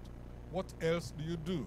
You confess those sins and you repent of those sins. Because it is repentance is turning away making a u-turn. You don't go back to those sins anymore. Acts 3 19 tells us what happened in the early church when the people were confronted with their sins. In acts chapter 3 verse 19 it says repent ye therefore and be converted. Without repentance there cannot be conversion. Repentance is not by raising up hand. That's not it. Confession means saying the things that how you offended God and then you know asking for forgiveness. You repent and then you forsake those things. You don't go back to them again and then you seek the forgiveness of God and the Lord is willing to forgive. Amen. It says here Repent ye therefore and be converted, that your sins may be blotted out when the times of refreshing shall come from the presence of the Lord. In verse 26, it says, Unto you first, God, having raised up his son Jesus, sent him to bless you in turning away every one of you from his iniquities. Amen. He saves completely not 50% salvation. That's what we see. When people say, How about salvation? I'm working on it. You don't work on it. The provision has been made already. Amen. Only believe. Believe what he did. Confess, your, repent of your sins, forsake those things, call upon the name of the Lord. He is ready to, to, to forgive. Even the sons of Levi, as I said, partook of the feasting, but they responded through confession. Therefore, be willing to repent, become born again, except a man shall be born again, he cannot see the kingdom of God. So, as the Levites rallied to separate themselves from the camp, a believer needs to be separate as well. And Jesus wants us to live a life that is different from unbelievers. Number two, the moment they were saved, as I said, they were given an assignment to do. I see many people, I'm saved, I'm saved, they don't do anything in the house of the Lord. They don't do they don't serve the Lord for anything. There must be commitment to serve the Lord. As soon as the Levites separated themselves, they had to do something. They were to comfort, to smite, and to slay the enemies of God. We saw that in uh, verse 27 and 28. And so, they were aggressive in doing this. 3,000 people were slain. A believer must also be aggressive to, uh, if he's on the side of the Lord, meaning that he must be ready to do exploits for God. You must be ready to evangelize this world, and you must be ready to become fishers of men. Don't forget, the Bible says the kingdom of God suffereth violence, and the violent take it by force. Number three, consecrate yourself to his service. Consecrate yourself to his service. The Levites in verse 29, they were willing to consecrate their lives to the service of God. If you have been redeemed, if you have been born again, you do not you no longer own yourself. Many Christians don't know that. That you don't own yourself. It's my life. It's my you know, I, I can do whatever I want to do with my life you don't own yourself. The Bible says in First Corinthians chapter 6, let me take you there right now. that you are bought with a price. You are bought with a price. What is that price? It's not silver and gold, it's by the blood of Jesus Christ. 1 Corinthians chapter 6, verse 19, verse 20. What? Know ye not that your body is the temple of the Holy Ghost, which is in you? Mr. Christian, do you know that your body is the temple of the Holy Ghost? Why, why, why smoke? To destroy that body. Mr. Christian, why do you why do you drink Well, it's only a little wine? Your body is the temple of the Holy Ghost, which is in you, which ye have of God, and ye are not what? Your own.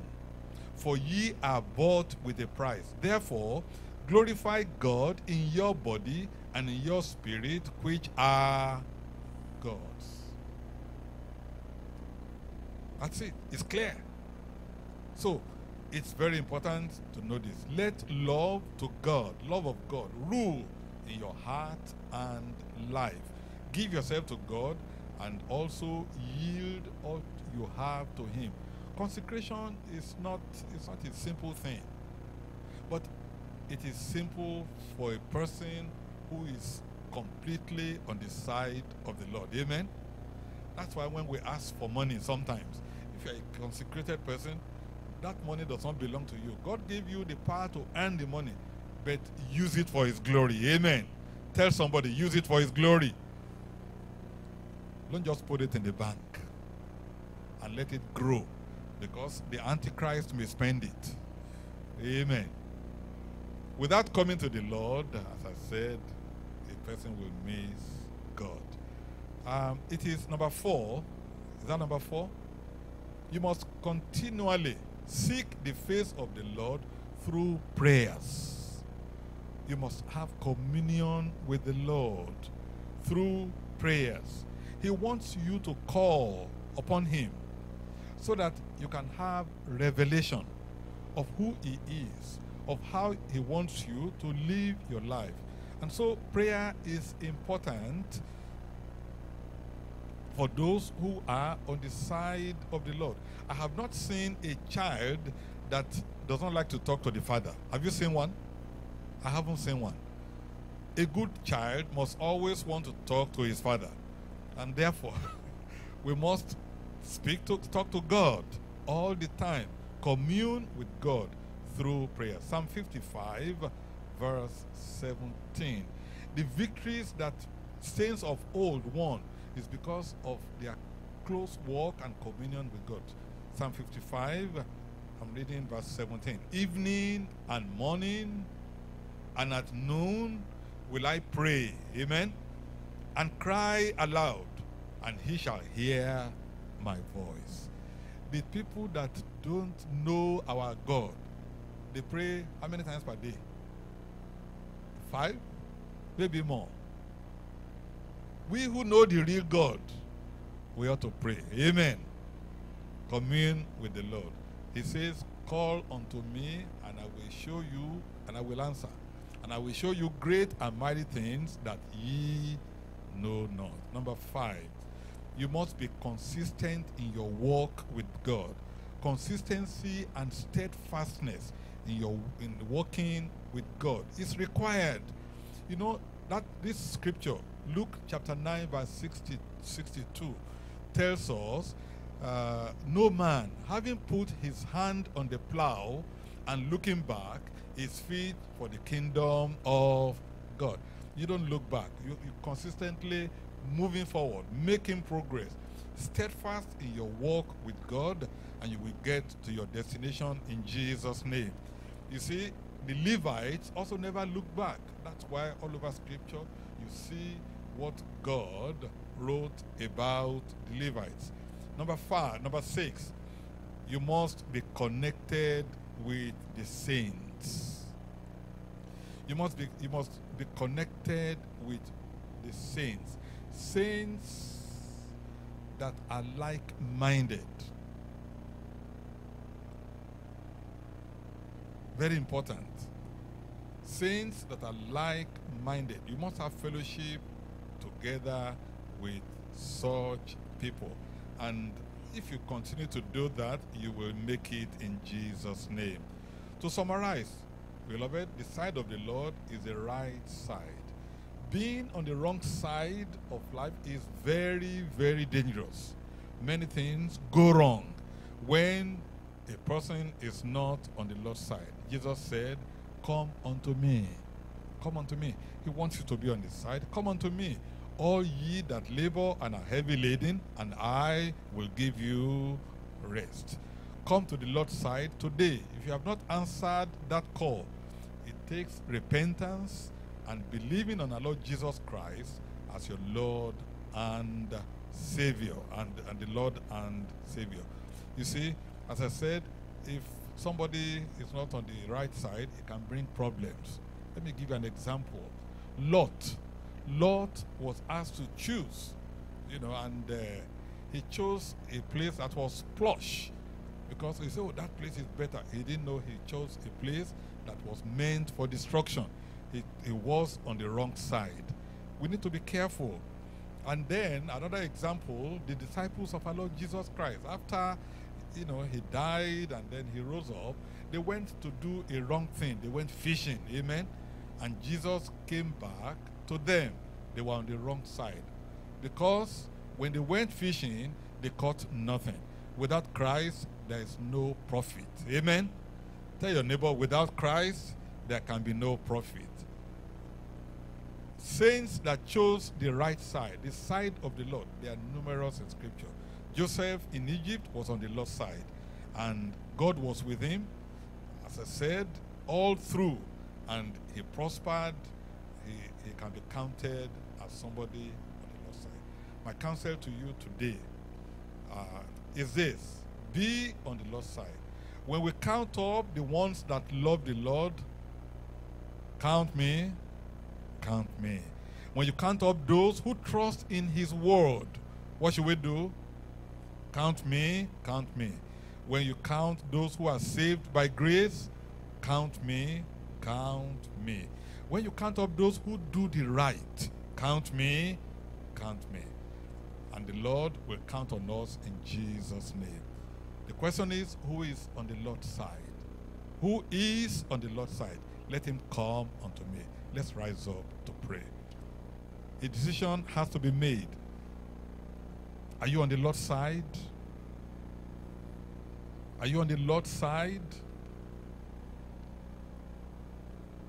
If not, you can today. You can go back to the Lord. You can repent of your sins. You can give your life to the Lord again. Who is on the Lord's side? Who will serve the King?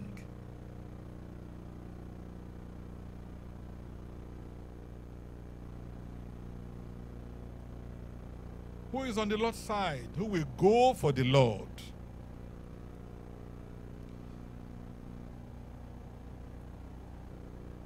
I am willing to be on the Lord's side.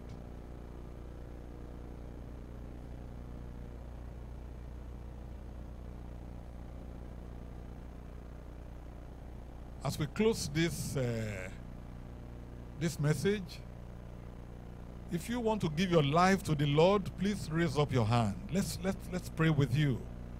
You are there. You have gone far. You have strayed behind and you want to come back to the Lord. The question is who is on the Lord's side? I'm going to pray with you. You want to be on the Lord's side.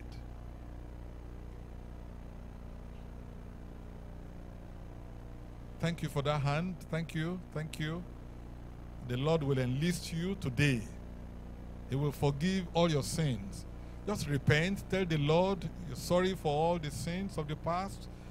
Ask Him to come and forgive you. Tell Him you forsake those sins, you will not go back to them. Confess your belief on the Lord Jesus Christ. Salvation will be yours. Then you're on the Lord's side. Continue to walk consistently and steadfastly. The Lord will take you to heaven eventually in Jesus' name. In Jesus' name we pray. Our God in heaven, we thank you. We bless your name. You have told us clearly what it is and what it means and what it takes to be on the Lord's side. Father, we pray at the end of time, none of us will regret in Jesus' name. Eternal Father, help us to walk in this narrow way. Lord, help us to always do your will and never to be ashamed in your presence in Jesus' name. Father, we pray that you will help us not to embrace the world, but to embrace you and to separate ourselves from the, the present world that is polluted and corrupted, to walk in the narrow way and have holiness and righteousness without which no man shall see the Lord. At the end of our journey on earth, O Lord, help us to see you face to face. Lord, for those raising up their hands, wanted to, be, to believe on you right now from this moment, forgive them, O Lord. Right now, O Lord, write their names in the book of life.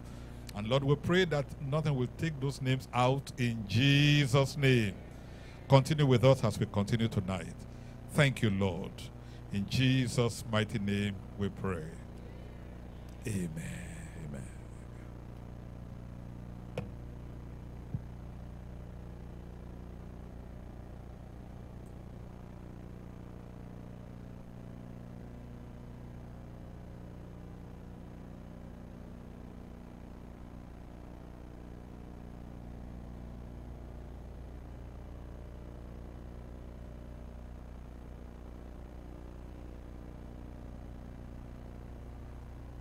Praise the Lord. We thank the Lord for that uh, ministration and uh, we pray that the Lord will keep us on his side in Jesus' name. We'll rise up as we sing together from the uh, program book on page 9. What a wonderful change in my life has been wrought since Jesus came into my heart. I have light in my soul for which long I had sought since Jesus came into my heart. Since Jesus came into my heart, since Jesus came into my heart, floods of joy over my soul like the sea billows roll. Since Jesus came into my heart.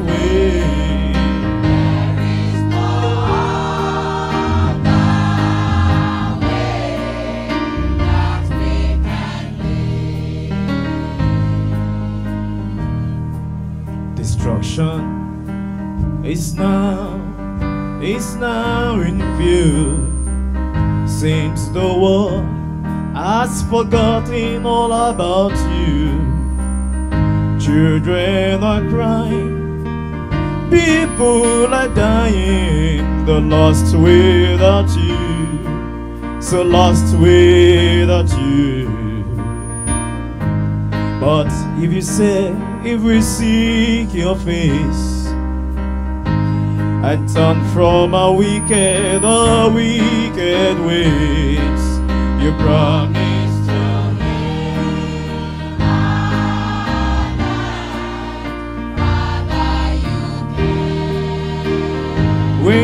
need to hear from you. We need the word from you. If we don't hear from you,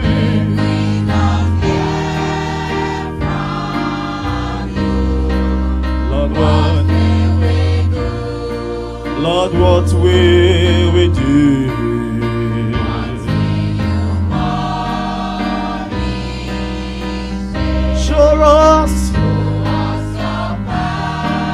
Perfect way.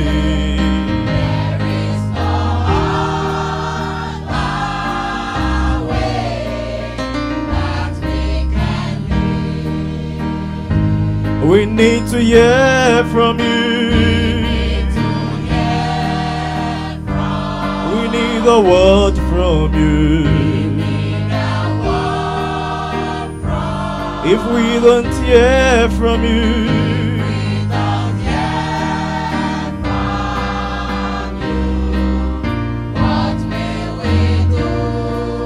what will we do?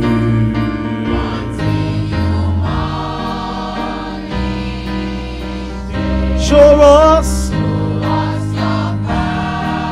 your perfect way.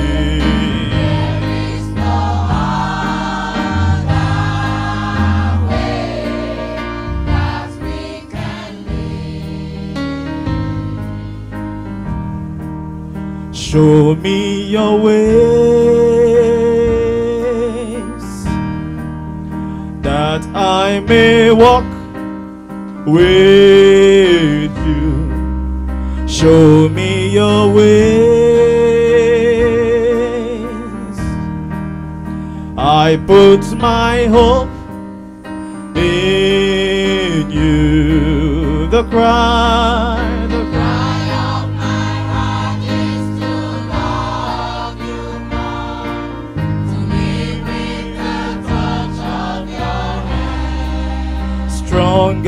each day.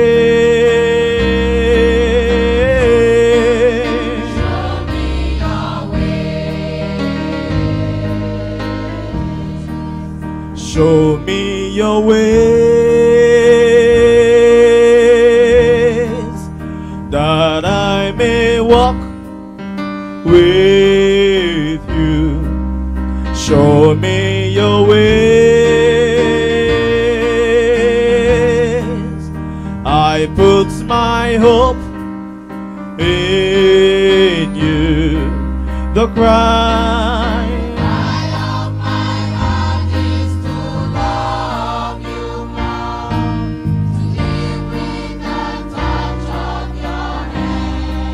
Stronger each day.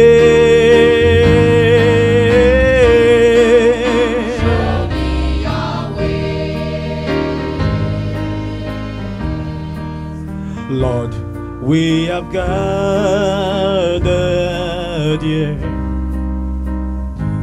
hearts in reverence, fear. Come in your fullness,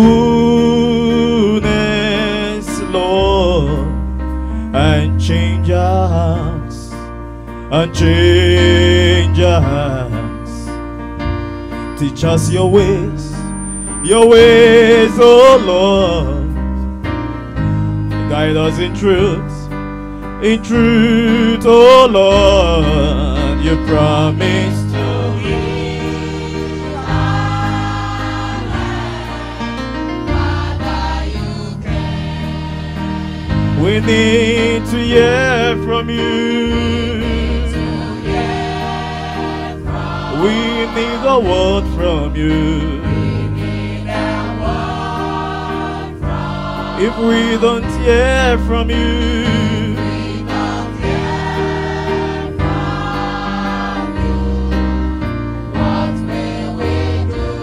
oh, what will we do?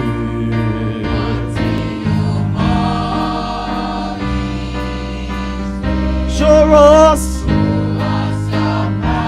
your perfect way. There is no way Lord, we need to hear from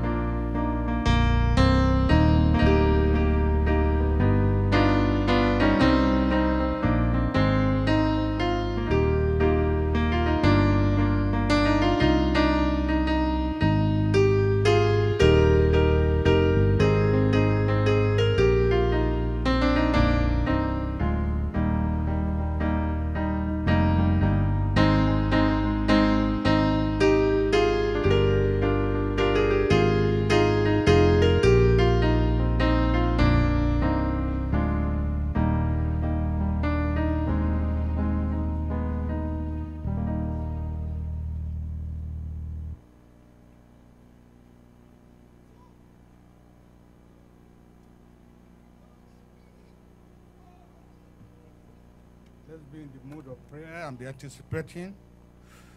The next message we are going to hear is from our General Superintendent. I have no doubt that you are going to be touched, you are going to be blessed. The title is The Foundation for Supernatural Change. The Foundation for Supernatural Change. I'm sure God is going to touch you as this message comes forth in Jesus' name. Just prepare your heart ready. Prepare your heart that change will come. Let's pray together. Father, in the name of Jesus, we thank you very much at this time. Thank you for your people, our brothers and sisters, everyone here, and those who have come to join us. Lord, we pray that change will come. Let's pray together. Father, in the name of Jesus, we thank you very, very much at this time. Let's be praying while our electronics is getting things ready. Prepare your heart. Say, God, speak to me. Speak to me. Your word is coming forth. Please, every registration should stop, please. The purpose for our he- coming here is to listen to the word of God. Registration people, please stop regist- registering people. Everybody should come inside. Electronics, we are waiting.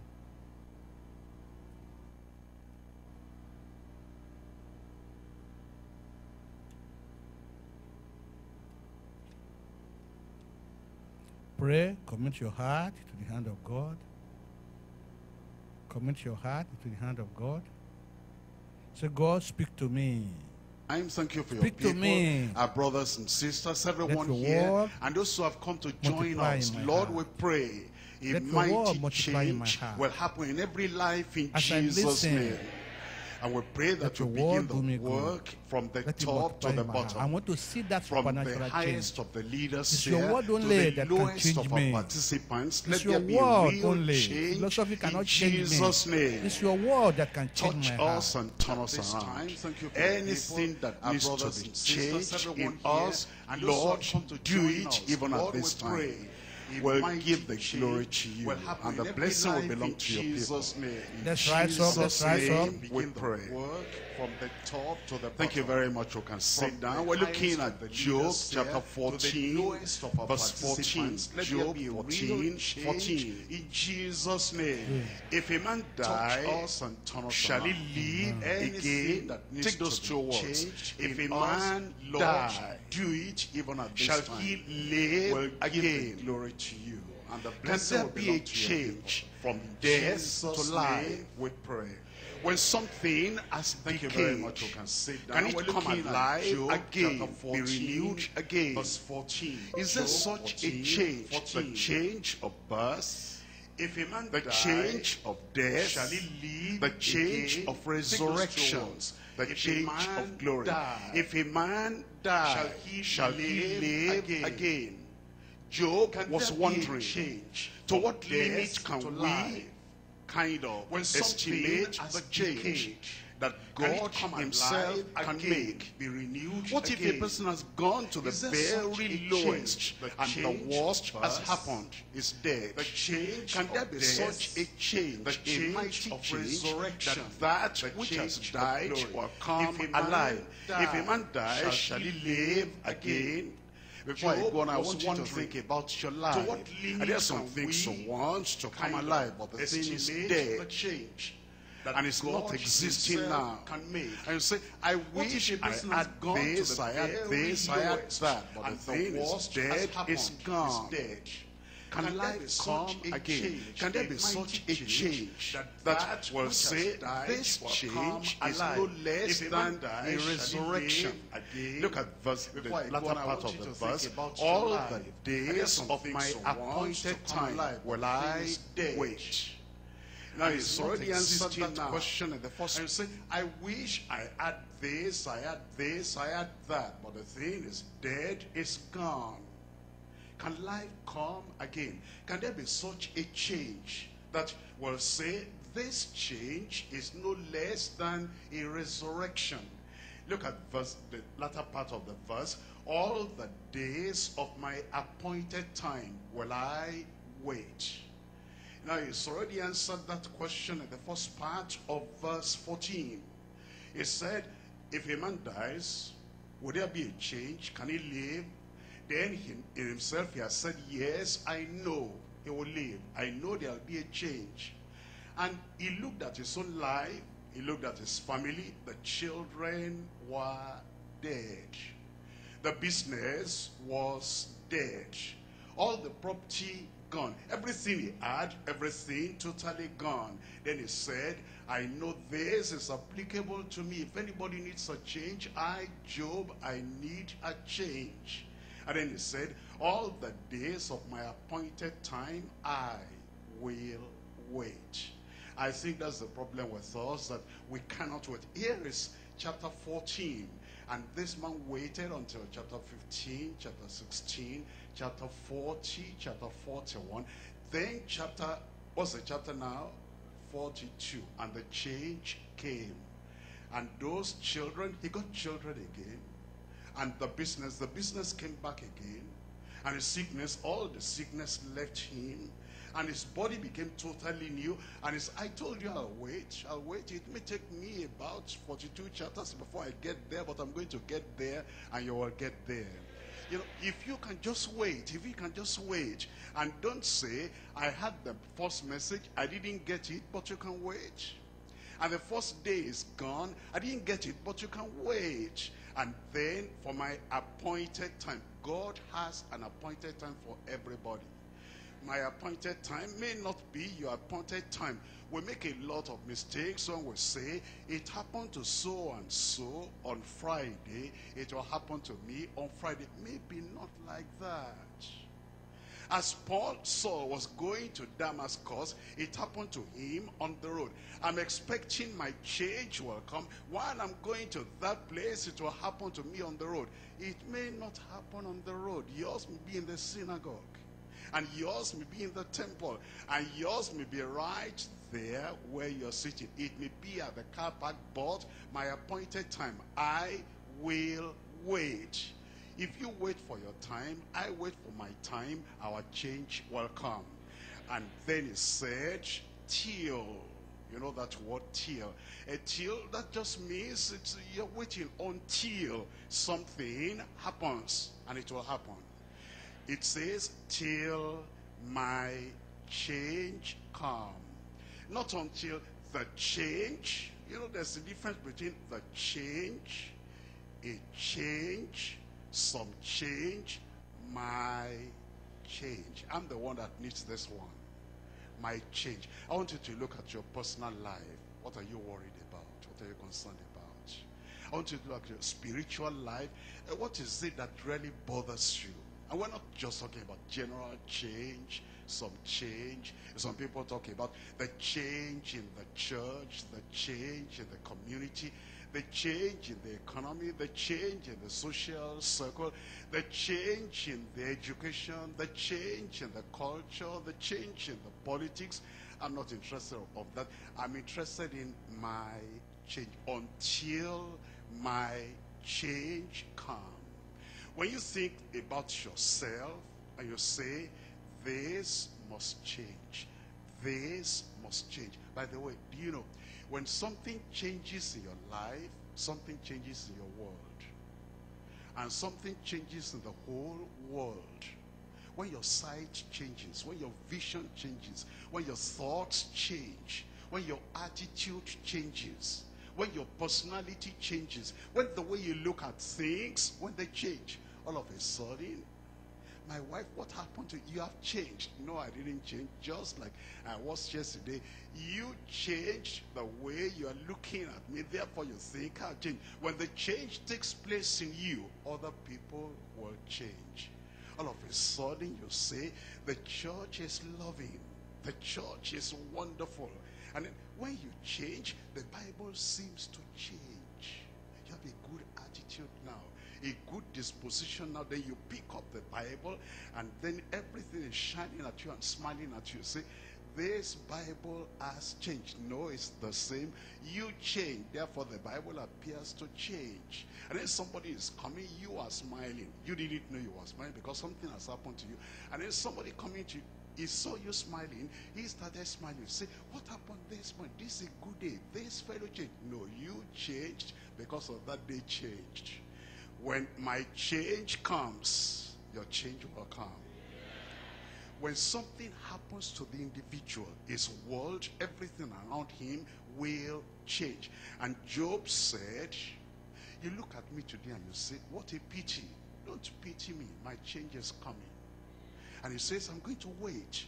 If you can wait, it doesn't matter what's happening to your life today. Doesn't you are sick, you are sad, you are poor, you are jobless, you are spiritually down, you are backsliding, you've done some things you don't want anybody to hear about, you feel guilty, doesn't matter where you are. If you will wait, just before we finish here, your change will come. And it says, all the days of my appointed time, I will wait until my change comes.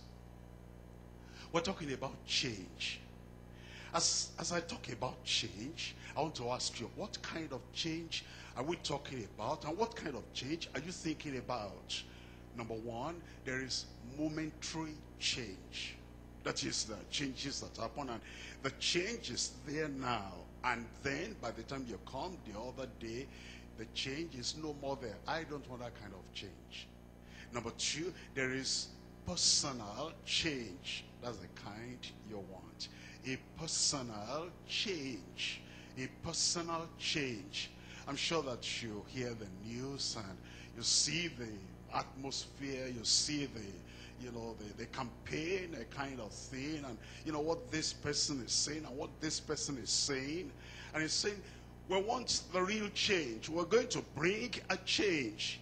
But you know that even after all that change, if it were possible for the politician to make good his word, and that change comes in the nation, this one intelligent might still be unintelligent. And those who are poor might still be poor. And those who are ignorant might still be ignorant. And those who are bitter and they can't keep a family might still be bitter and not able to keep the family.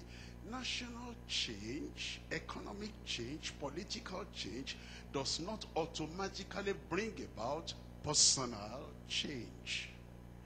The politicians can make a change on the taxes, on the politics, on the ideologies, on the some they call them amendments. They can amend this and change that, but for a personal change, I am responsible for any personal change in my.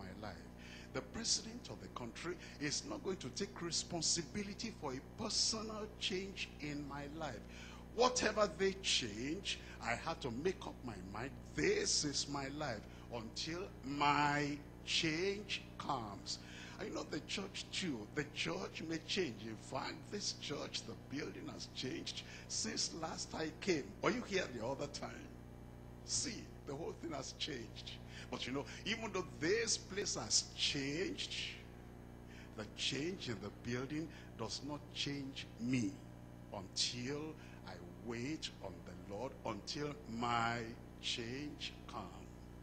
I don't want you to depend on other people and say, because this has changed and that has changed and that has changed. Automatically, my change has come. No, you take a personal decision and then your change will come. Number two, I said there's personal change. Number three, there's spiritual change. Uh, have you noticed how many things change around many people? The social circle may change. The social status may change. The economic, uh, you know, what you have in your hand may change. If the spiritual does not change, the lack of spiritual change will cancel and nullify and neutralize all the other changes in our lives. That's why the spiritual change is very important. I said there's personal change, there's spiritual change, and then there are other changes that come, social change. You know, there are people that don't have any friends who want to be their friends, but they are not friendly and they are not approachable. But when there's a spiritual change, we're expecting to there's going to be a social change. That we're able to interact with one another and we know that things are different. Now, there is also the physical change. If you're sick, and then God is going to touch you and heal you. That's a, that's a physical change, and that physical change too will come. And look at this man. I see him. They're carrying him to the gate of the temple. And they lay him there. And then at the end of the day, after having some coins in the in the tray, then they carry him again and he goes back home. And then they bring him again. He's been coming like that now for two weeks and one month and one year. All of a sudden, this day, look at Peter coming. Look at John. And then he came to the man. And then he was thinking, they will give him what others have always given him. If you want to get what you have always got, you will be what you have always been. You know, the man sitting, lying down there, and then alms for the poor, alms for the poor, expecting to get what he always got. But if you get what you always got, you will be what you have always been. And then Peter said, look on us. Today is different. Look on us. Silver and gold have I none. Okay, if you don't have silver and gold, pass on. I need silver and gold. No, you need something more than that. Because remember, if you get what you have always got, tell me the rest, you will be what you always been. Therefore, what you are looking for is not what we are going to give you. There's going to be a change. I said there's going to be a change. In the name of Jesus Christ of Nazareth. Wait a minute. This man had been in this Jerusalem. And Jesus Christ went through Jerusalem, all the streets of Jerusalem for three and a half years, and the man never heard of that name. You think about that? The church has been here for such a long time, and the billboard has been there for such a long time, and there are people that have never seen, there are people that have never heard. What you, don't you go and tell them? And tell them that this weekend a change is happening to everybody that comes in here. And so, in the name of Jesus Christ of Nazareth, do what? He had never done that in his life. Don't, don't forget. Rise up and walk. And the man was still sitting down there because I've never done that. How could I do that today? And Peter reached out, reached out to somebody, lifted him up, and then he began to walk. A physical change came upon him. Your change will come. There is also an inward change. An inward change. There is also an outward external change. Then there is a permanent change. I love this. There's a glorious change. Then there's a supernatural change. And finally, there is an eternal change. I pray it will come. I'm going to talk to you about uh, this change. By the way, I'm talking on the foundation of supernatural for supernatural change. The foundation. We need to have a foundation. If the foundations be destroyed, what will the righteous do? The foundation for spiritual change. We're going to talk about three things. Number one, the perception of supernatural change. Perception of supernatural change. Number two, the prevalence of superficial change. The prevalence of superficial change. And when something is superficial, it's just on the surface. It's not that deep. It's not that real. But just superficial change. But then number three, the power for spiritual change. Number one, perception of real supernatural change. I'm going to show you some illustrations in the Bible for you to understand what we're talking about when we talk about change, a supernatural change. We're looking at Exodus chapter 7. Exodus chapter 7, and we're reading from verse 8. And the Lord spake unto Moses and unto Aaron, saying, When Pharaoh shall speak unto you, saying, Show a miracle for you, then thou shalt say unto Aaron, Take thy rod and cast it before Pharaoh, and it shall become a serpent. Supernatural change. That means a change that happens that is not natural, but above natural, beyond natural, superior to natural. When we say supernatural, this is superior to something natural. And Aaron had a rod in the hand. I want to think about a rod. It's lifeless, it's motionless, and it cannot do anything except what you make it to do. And now God said, Moses, talk to Aaron. When you get before Pharaoh, tell Pharaoh that my people who are here, they are going to leave this place. They're going to go to another place. What's the Lord saying? He's saying for my people, there is going to be a change. Hmm. What kind of change?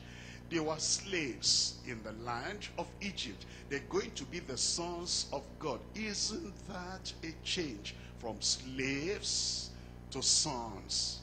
And for him to know that my purpose is that there'll be a change in them, let there be a kind of change he cannot fathom, he cannot estimate, he cannot analyze, he cannot understand. You throw the rod down and then it will become a serpent. Because it's going to be an illustration that I want to make a change for the children of Israel. And if you look at the children of Israel, you'll see that when they came out, there was a great change. as they moved on, there were great changes. And then till the time they got to the land of Canaan, it's one change and change and change upon the other. Have you noticed that? When they came out of the land of Egypt, water became blood before they came out. A great change. And then as they were passing through, the Red Sea was there. A great change that was parted into two. And then they passed over. And also when they got to the well, the bitter water they couldn't drink, a great change came again. Everything became sweet. And when they had nothing to eat, God provided food from heaven. That's a great change. That's out of the normal, out of the ordinary. And then the things that happened as they went on, when they got to the land of Canaan, again, change upon change upon change. This is the beginning. And this is supernatural because this is not by natural force, natural effort, natural power. And it became a serpent. Something that didn't have life now had life. That's the perception we're talking about. And it was done by whose power? The power of God. How long did it take? How long did it take? Throw it down, became a serpent, pick it up, became a rod. Again, when God is at work, it doesn't take time. And my change will not take too much time. It's happening even at this very time. When you don't know anything is happening, it's happening right there. And now we're looking at Second Kings chapter 2. Second Kings chapter 2. We're looking at the perception, the understanding of supernatural change. Second Kings chapter 2, we're reading from verse 19. Second Kings chapter 2 verse 19 And the men of the city said unto Elisha, Behold, I pray thee, the situation of this city is pleasant, as my Lord seeth, but the water is not, and the ground barren. The situation is pleasant, but then it says the water is not, it's not pleasant, it's not sweet, and the ground barren. You think about that.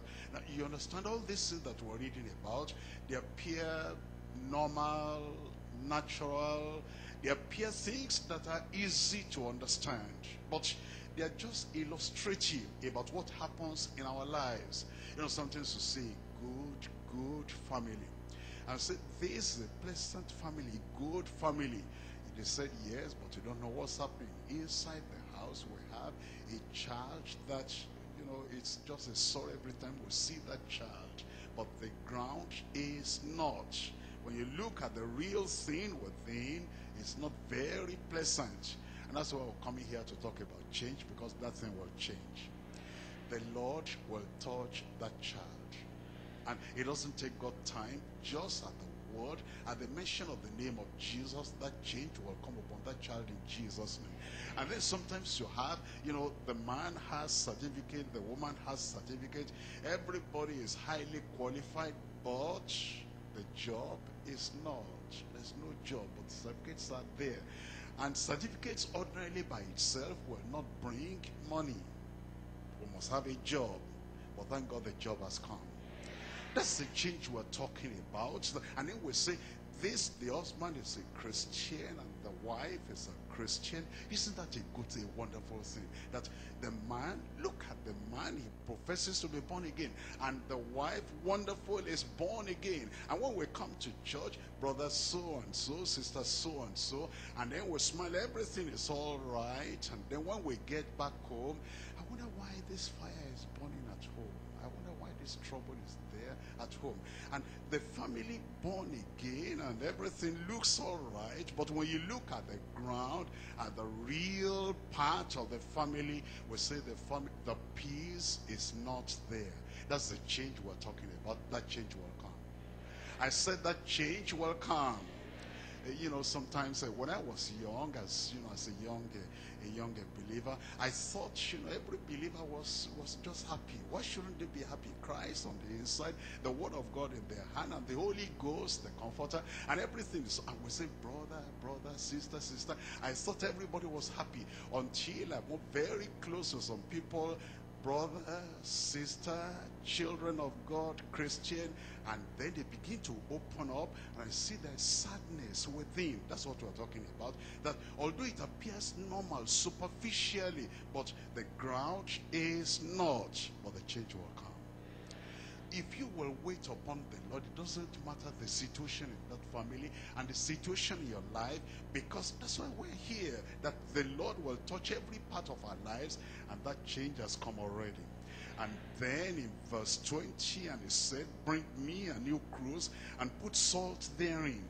And there and they brought it to him, and he went forth unto the spring of the waters and cast the salt in there and said, Thus says the Lord, I have healed these waters. Those are the words I want to hear. If the Lord can just tell me, I've healed every part of your life the heart, the mind, the life, the attitude, everything within, everything without, I have healed these waters. And once you hear those words, it's all over. I said it's all over. And then we're told, it says, and there shall not be from thence any more death or barren land. So the waters were healed unto this day, according to the saying of Elisha, which he spake. That's the supernatural change. We're coming now to the New Testament, John chapter 2. John chapter 2, we're reading from verse 1. Supernatural change. John chapter 2, reading from verse 1. It says, And the third day there was a marriage in Cana of Galilee, and the mother of Jesus was there. And both Jesus was called and his disciples to the marriage. We don't have too much time, but uh, you cannot just read over these verses and, and run through. What if this man had not called Jesus to his marriage? You know, there are people that say, you know, I've seen the lady, good luck. I've seen the parents, and they have given their consent. Praise the Lord. And then we fix the date, and the officiating ministers are all ready. The only thing is that they do not invite the Lord Jesus Christ into that relationship.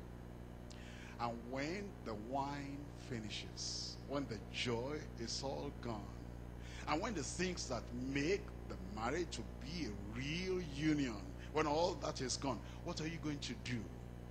Take Jesus along. Whatever you are doing, marriage, family, job, relationship, whatever it is, let Jesus be there. Because you don't know, the wine may finish. The resources may finish. And the things you need to make the marriage what it ought to be, everything may finish. But then you'll say, praise the Lord, Jesus is in the marriage. If there's no money but there's Jesus, money will come. If there's no health but there's Jesus, health will come. If there's no provision but there's Jesus, provision will come. And if we do not have understanding, but Jesus is there, understanding will come. Whatever we don't have, if we have Jesus in our relationship, everything we don't have, everything will come. And when they wanted wine, the mother of Jesus says unto, unto him, They have no wine. Jesus says unto her, Woman, what have I to do with thee? Mine hour is not yet come. How would you respond to that? The mother of Jesus went to him and said, They do not have wine. And Jesus said, What have I to do with you? Well, if you look at those words on the surface, it's like, Get out of my sight. Are you talking to me about that? I can't do anything about that. And I don't want you to talk to me about that. You know, sometimes when you come to a conference like this, and we preachers, you, you look at us and we're different. You know, our stature, our height, our, you know, short wear, our voices, our intonation, our whatever it is, we're different. And some of our preachers may come here and they say some particular words. If you look at that on the surface, it puts you off. Nobody will put you off. Whatever they say, I'm going to get blessing out of it. However they preach, I'm going to get blessing out of it. You know, some people, they say, I don't like the way the preacher is talking. Why don't you like the way the preacher is talking? Let him talk the way he wants to talk. Blessing will come through you through the way he's talking. Praise the Lord. You know, sometimes when a preacher comes here, I say, oh, that man is the one preaching now. That tunes me up. It tunes me on. No matter who is there, I'm going to listen. No matter what they say, I'm going to listen. And I know that the wine that is finished through them, through them, those people that say things you don't agree with, it is through them this change will come. Don't shut up anybody. Don't tune off anyone because your wine will come. Your change will come. And so the, his mother said unto the servant, Whatsoever he saith unto you, do it. How do- what's the correlation between what Mary said and what Jesus had said? Jesus had said, What's the matter with you, woman? What have I got to do with you? He said, All right, I understand you. Whatsoever he says unto you, do it. You know, that's a good attitude. If you have a good attitude, all the messages we're preaching here will be a benefit to you. If you don't go back out there to gossip about us, do you like way he's talking? I like the way he's talking. Do you like the way I'm talking? Of course you do. And the blessing will come to you in Jesus' name. Whatsoever, whatsoever he says unto you, do it. Will say some things to you that will look unreasonable, unrealistic. How could he say that? How could he say that? And that's the thing that will bring the change in your life. Whatsoever he says unto you, what's he going to say? Let's see what's he what's going to say. Verse 6. And there were set there six water pots of stone after the manner of the purifying of the Jews, containing two or three firkins apiece. Jesus says unto them, Fill the water pots with what? What kind of commandment is that? I thought they needed wine. Go and bring water and fill the place. If you fill the water pots with water, when the wine comes, we're going to put the wine. Don't worry about that. Whatsoever he says unto you, do it. You know the problem we have. You're coming from that deeper life location, that deeper life location, that deep, deeper life church, and that other assembly, which is not maybe not the deeper life local church. And then our preachers come, and the way they preach and the things they say, they say, stand up. I don't feel like stand up. Why should I stand up? Don't question. Stand up. What do you do?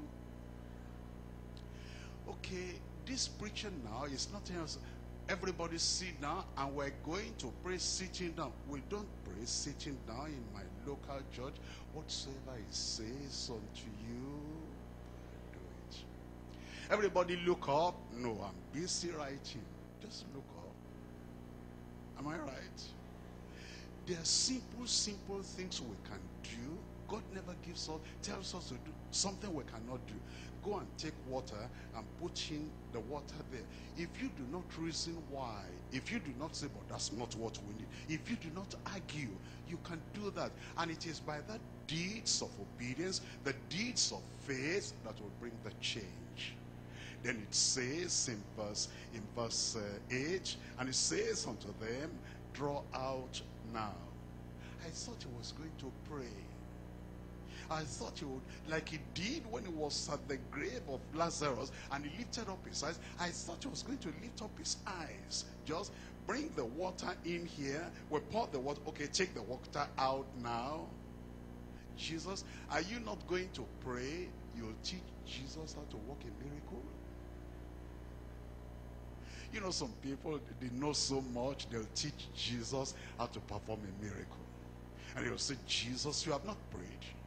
Jesus, you didn't close your eyes. Jesus, you didn't stand up. Can you please uh, hide all the knowledge you have? And everything you brought, just put that somewhere. And then whatsoever he says unto you, that do. And then he took out the water. When he took the water to the right place, when the man tasted it, was it water? What was it? That's a great change, a supernatural change that comes as a result of simple obedience to the word of God. Very simple things the Lord will tell us to do. It may be like, you know, eh, when you are coming in the morning, there was somebody that was trying to get your attention. Good morning, brother. Good morning, brother. And then you just, you were in a hurry. Not, not anything bad, but the other fellow felt, how could he just snub me like that? And then when I say, please, can you go back to that sister? I just say, I'm sorry. I, you know, just want a hurry. How can I do that? That will mean that, you know, I made a mistake and I'm a perfect, sanctified, holy, righteous child of God. How can I go and tell that sister, I'm sorry? Can you just go and do that? Whatsoever he says unto you, do it. And it is that that will bring the miracle in your life in Jesus' name. Now, the change we're talking about, number one, there's going to be change of heart. The change of heart. The Lord has promised us that and He's going to do it. Number two, a change of life. Number three, a change of relationships. Relationships. And that's the real change we need. When the heart is changed, the life is changed, the relationships are changed, a change of state. A change of state. Do you see the water becoming wine? That's a change of stage. And the water in the Old Testament, Second Kings, that was turned around, became sweet. That's a change of stage. A change of nature. That our very nature is changed. And then a change of destiny. But the change that happens here continues and then gives us eventually a change of destiny. I come to point number two, prevalence of superficial change. There's some people who are satisfied with what we refer to as superficial change. The change is not in depth. It's just a kind of superficial floating on the surface. Let me show you examples in Hosea chapter 6. Hosea chapter 6, reading from verse 4. O Ephraim, what shall I do unto thee? Here is the Almighty God wondering. Here is Ephraim. And he said, Ephraim, what shall I do unto thee? O Judah, what shall I do unto thee? For your goodness as is as a morning cloud, and as the early dew, it goeth away. Your goodness. And then it also says, um, your goodness as the morning cloud, and as the early dew, it goeth away. Something that doesn't last. We don't want to have that kind of thing at this conference. Whatever the Lord does at this conference, by the time if Jesus tarries and will come back uh, next year, that change will still be there. But in the case of these people, Judah and Ephraim, their goodness was like the morning cloud and like the dew that just passed away. We're looking at Second Kings chapter 17. Second Kings chapter 17. I'm reading from verse 33. Superficial change. Superficial change. A kind of change that you cannot really rely on. You cannot depend on. You cannot trust. And that's not the kind of change you want. That's the kind of change that is prevalent in the land at this time. In many religious circles, the kind of change that you see superficial just on the surface. In Second Kings chapter 17, verse 33, they feared the Lord. If you had stopped there, you'll say, this is great. This is wonderful. They feared the Lord. But read on. And made unto themselves of the lowest, sorry, and served their own gods after the manner of the nations whom they carried away from thence. Unto this day, they do after the former manners, they fear not the Lord. That's a superficial change. When you read in verse 33, it says they fear the Lord. And their attitude, their language, their worship, their singing, everything they do, they seem very religious. And you'll say, those people fear the Lord, don't they? But when you look at their lifestyle, you'll see all that change appear superficial. It's not something you can trust or depend on. It says, unto this day they do after the former manners. We're looking at Matthew chapter 23. Matthew chapter 23. We're looking at verse 25. Matthew 23, verse 25.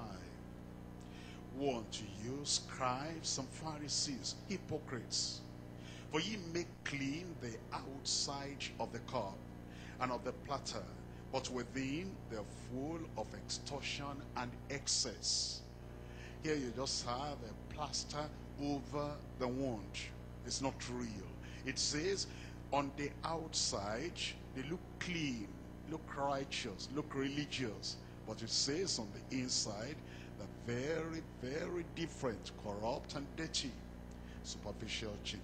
In verse 26, the blind Pharisee cleanse first that which is within the cup. The Lord wants the change to be so deep, in depth in our hearts, in our lives.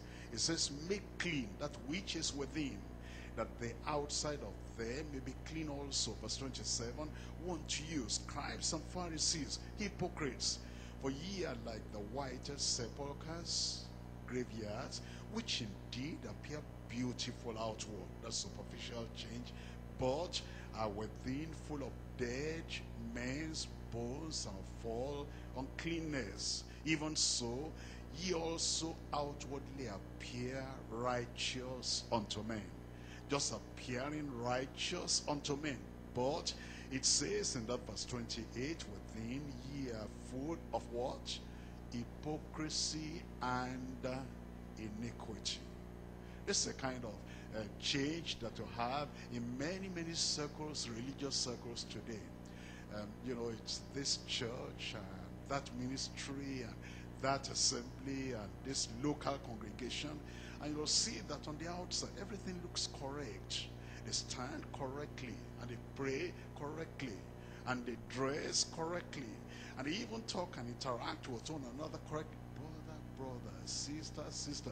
Everything looks religious and solemn. But on the inside, the thoughts in the heart, the plans in the heart, and the attacks, you know, what they have in the heart against one another.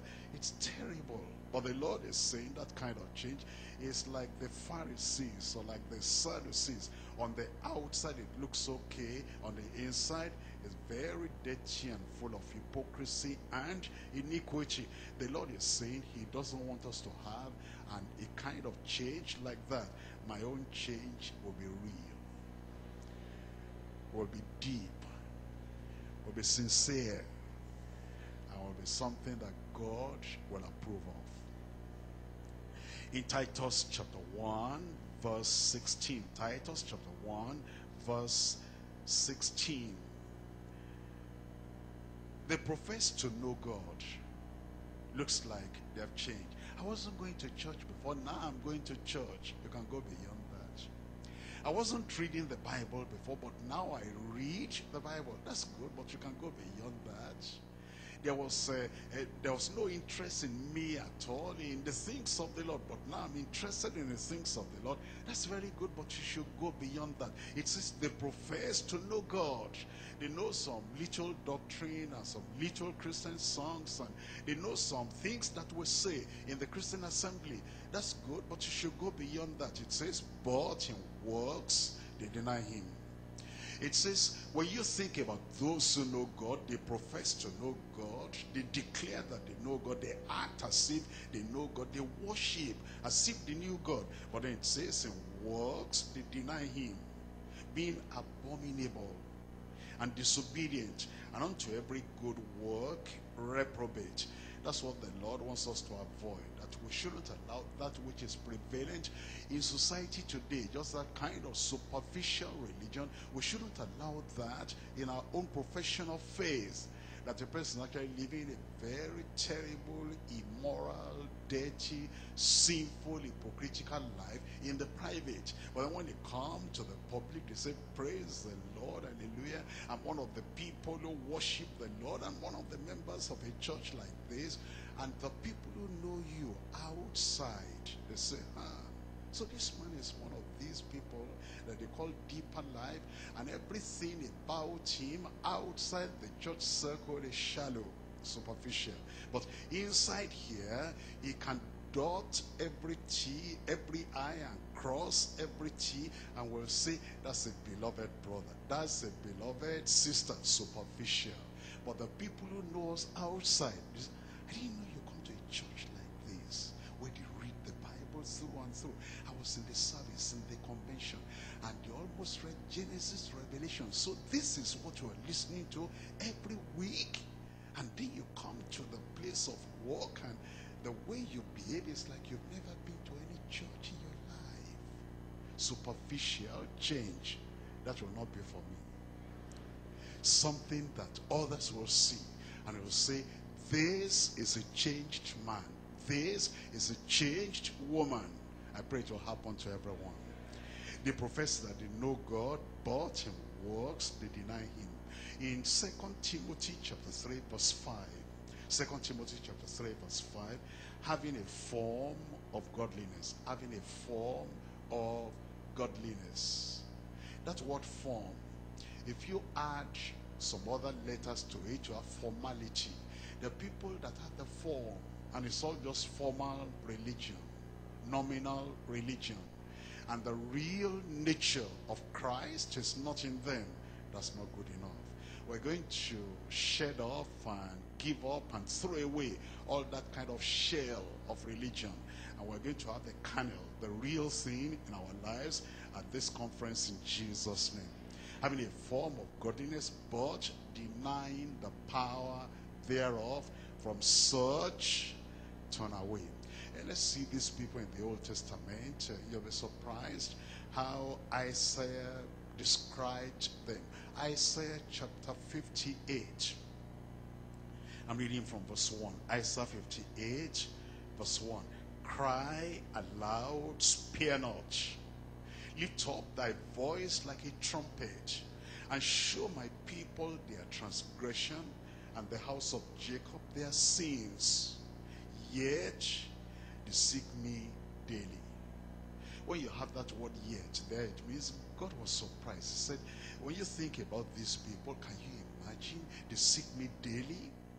They delight to know my ways as a nation that did righteousness and forsook not the ordinance of their God. They ask of me ordinances of justice. They even take delight in approaching to God. Yet cry aloud. Don't spare them.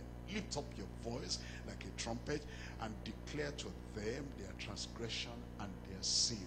The Lord wants us to take away the sin. Repent of the sin. Turn away from the sin and not be satisfied. Don't be satisfied with superficial change.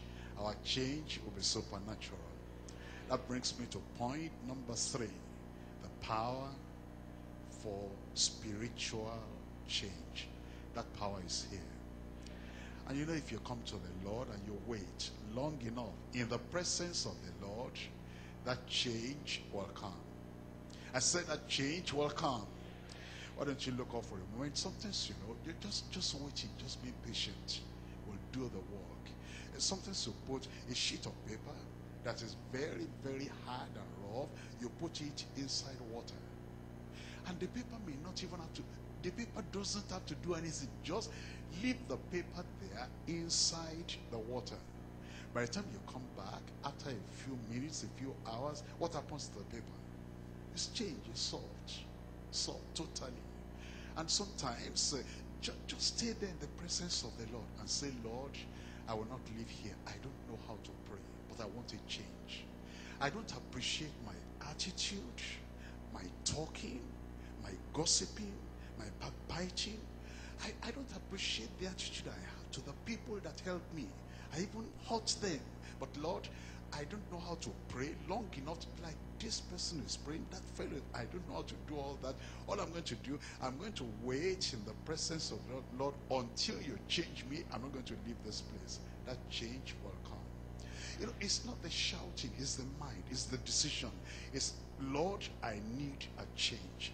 This change, I cannot do it for myself. And I've tried this, I've tried that, I've tried that. But now I know Jesus died for me on the cross of Calvary. I'm not going to die like this. You know, sometimes you ask yourself, you're doing something. And then the Holy Spirit whispers in your heart and it says, "Hmm, church woman, see what you've done again. Should you die in this condition, where would you spend eternity? Then you cry a little, oh Lord, I'm sorry, oh Lord, I'm sorry, oh Lord, I'm sorry. And then two weeks you go back to that same thing again. And the Lord is saying, "Hmm, have you heard of people that just died of heart attack? People that just died like that. They were not sick before, they just died. If you died in this condition, where will you spend eternity? And then you come to this confession and you are hearing about a real change. And you say, Lord, whatever it will take. If it's just to wait in the presence of God, this time, change is going to come. If you will wait like that, don't worry about what other people say. And ah, sister so and so, what have you been doing there? Okay, are you the one the pastor is talking about? You want a real change? Don't worry about them. But your change will come. Because if you just wait like that, say, Lord, this time I'm having a change. A supernatural change. I pray it will happen. And there's nobody here, if you are sincere with yourself, that there's no area of your life that you're not concerned. That this particular area, say, Lord, I thank you for this, I thank you for this, I thank you for this. But this particular area, I'm concerned about it. And it is at this time that change must come. And when that change comes, we will know, we'll see. Because we'll see very clearly. See, something has happened to my brother, something has happened to my sister. Is the change only for sinners? Is the change only for backsliders? No. Believers too, they need a change. Am I right? Believers need a change. And it is that supernatural change the Lord wants to effect in our lives. And He will do it. Now the power. The power for spiritual, supernatural change. We're looking at Exodus chapter 15. Exodus chapter 15. And I'm reading from verse 6. Exodus 15, verse 6. Thy right hand, O God, is become glorious in power. Thy right hand, O Lord, has dashed in pieces the enemy. Even our enemies, they will change. Verse 11, Who is like unto thee, O Lord, strong among, among the gods? Who is like thee, glorious in holiness, fearful in praises, doing wonders? He'll do wonder in your life. Verse 26, and said, If thou wilt diligently hearken to the voice of the Lord thy God, and wilt do that which is right in his sight, and will give ear to his commandments, and keep all his statutes, I will put none of these diseases upon thee, which are brought upon the Egyptians. For I am the Lord that healeth thee. Can he heal you? Uh, you know, sometimes uh, when we talk about healing, there are people that think they have to fast, they have to pray, and you know, it's good to pray and it's good to fast. But do you know, sometimes it's those who cannot fast like that for long, you cannot pray for long, just to stay in the presence of Christ. I, I want to ask you a question. Suppose a man was sick in the time of Jesus Christ here on earth. And all the other people were shouting and praying, Son of David, have mercy on me. Son of David, have mercy on me. And this fellow does not have the voice to shout. All he did is just to stay by Jesus Christ. And if you can touch the hem of his garment without a word, just keep on staying there until you touch the hem of his garment. I'm sure that he's going to heal you. You know, it's not everybody that can shout when we pray. I thank God for those who shout. I thank God for those who demonstrate and do this when they pray. But you know, some of us, we can't do all that. All we can do is just to stay in the presence of prayer and say, Lord, I'm following you. I'm here. I will never leave you. I'm going to stay close to you. I'm going to keep on holding. I cannot shout. I can't do it. I don't have the strength. I'm just going to hold on to the hem of your garment until I am healed. You'll be healed. He'll take that infirmity away from your body. A miracle will happen to you in Jesus' name. And he says, I will put none of those diseases upon thee which are brought upon the Egyptians. I am the Lord that healeth thee. Psalm 62. In Psalm 62, we're looking at verse 11. Psalm 62, we're looking at verse 11. God has spoken once. Twice have I heard this, that power belongeth unto God. That's the power that will change me. I said that power will change me. You know, I have hope in the Lord. You know, whatever people complain about, I know just, just wait there. It's just a matter of time. Everything people complain about you, everything will change. Once you just say, Lord, you know, if you're listening to the people, it will discourage you. If you listen to them, it's this this and that. Take all those complaints and go to the Lord and say, Lord, see me. I'm born again. I'm your child. But this is what my wife is complaining about me. This is what my husband is complaining about me. And Lord, between you and I, they are right. I'm ashamed to own it up to them, accepting before them that they because then they're going to use that to whip me and say, aha, now you accept that you are bad. But Lord, I cannot tell them everything I have in my mind, but I can tell you, Lord, I'm as bad as they are saying. But Lord, I need a change. All I need is, what do I need? I need a change. And if you tell the Lord your heart like that, staying with the Lord, I trust the Lord. That change will. By the time you get back home, don't tell them, don't tell your wife, my wife, ah, you didn't even pass any comment. When things were bad, you always talk and you always said this and this. Since I came back from the convention, have you seen anything? Didn't you see any change? Don't talk. Just live your life. Let Jesus reflect that change through you. And then your wife will say, honey, looks like something happened to you. I was waiting. Then you tell them when it happened, how it happened, and who has done it. Who has done it? That's Jesus. He'll do it for you. Just stay with them. Because once I've had this, twice have I had power belongeth unto God. That power is for you. And it's for you Jesus died and he'll make this possible.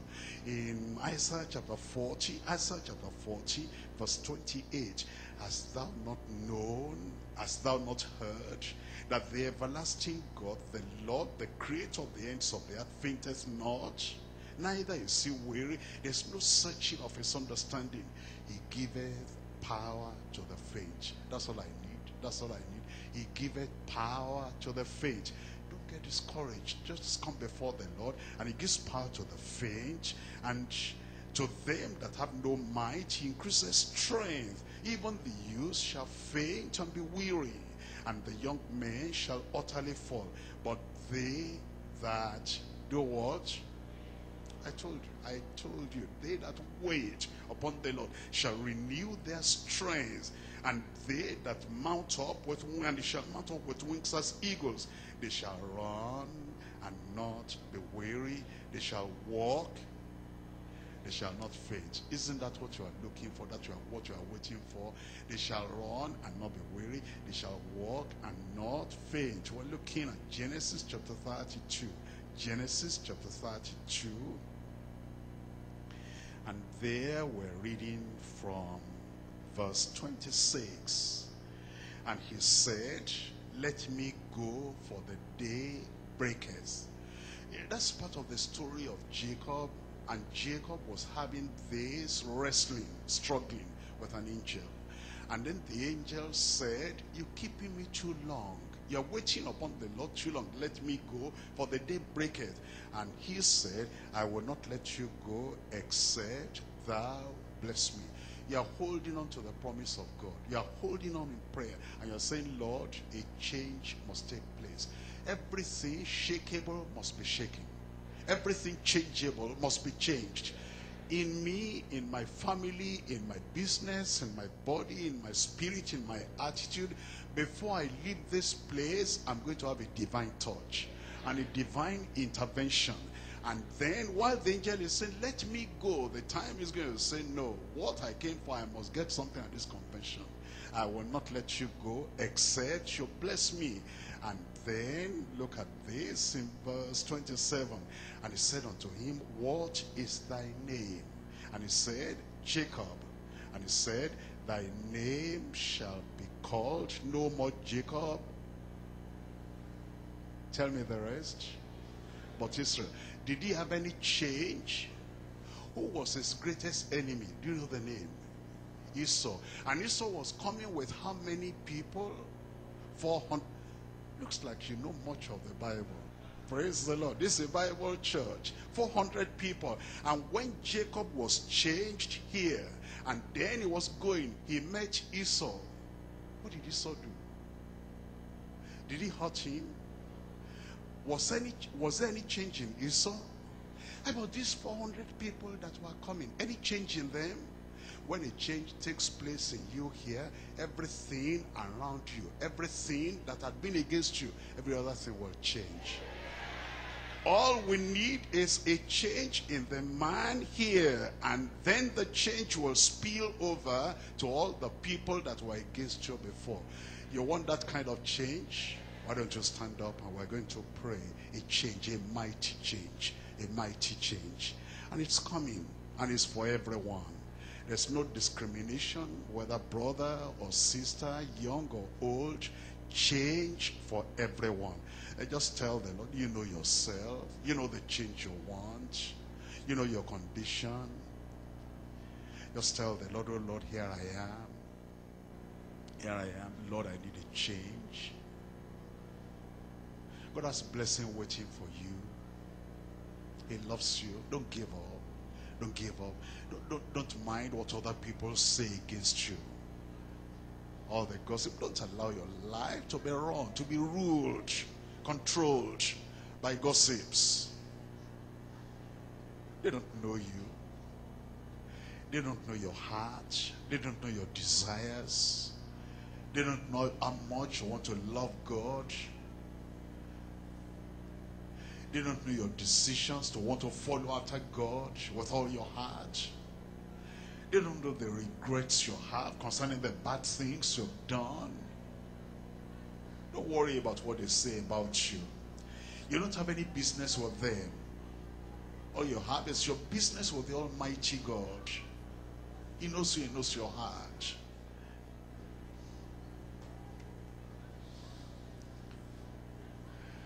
Don't even worry about the lies they tell about you. You don't let one bad thing, then they add nine and say you're so very bad. Don't worry about that. Your business is with Almighty God. And don't think about the enormity, the greatness of the problem you have. Power belongs unto God. Power belongs unto God. Jesus died for you. You see how precious you are that Jesus could die for you. Your soul is precious in the sight of the Lord. And Christ, the only begotten Son of God, died for you. So that this supernatural change will occur in your life. Don't give up. Don't give up. You can't give up. He loves you.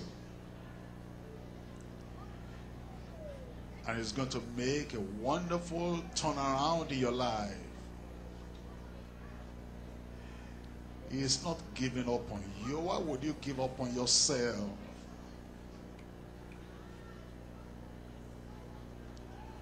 Look away from people.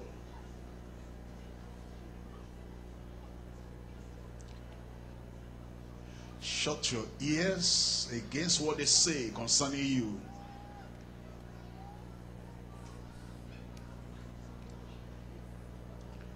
Don't let what anybody says bother you. They don't even know how bad you are. But God knows. And with all that God knows about you, He still wants to work a miracle of change in your life. You're sick, He will heal you. You are in need, He'll provide for you.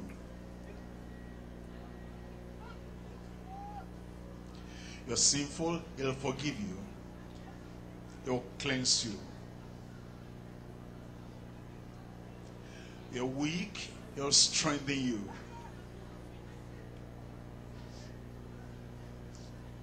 My change has come. My change has come.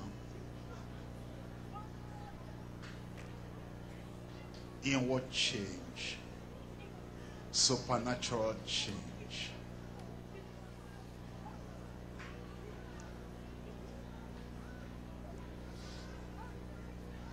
No, you will not perish. You cannot perish. Jesus died for you to save you. How would he allow you to perish? Stay with him. Don't run away. Stay with him.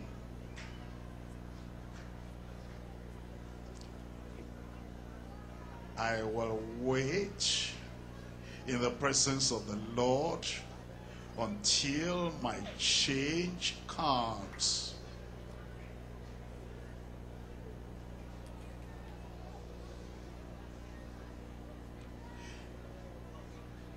Give him a chance to walk freely in your life. What a mighty God you serve. What a loving, compassionate, merciful God you serve.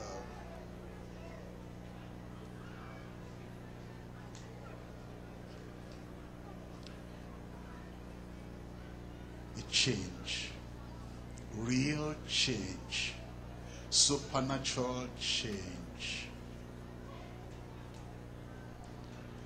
A cleansing, a purging, a purifying. Mighty change. He'll do it. Yes, he'll do it. God specializes in making supernatural changes in our personal lives, spiritual lives.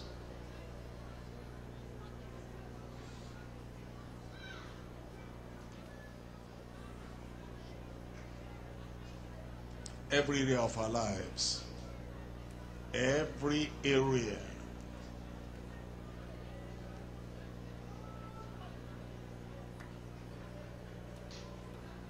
a change. Stay close to the Lord, touch Him by faith. Hold on to that promise. He cannot fail. He'll bring the change you desire.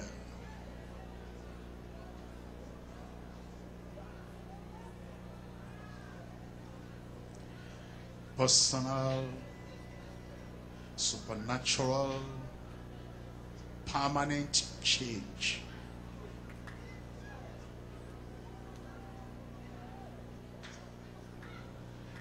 Why not now?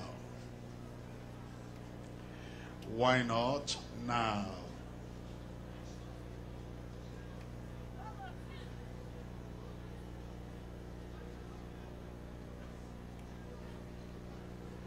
Trust Him, believe Him. It's by faith. It's unto you according to your faith.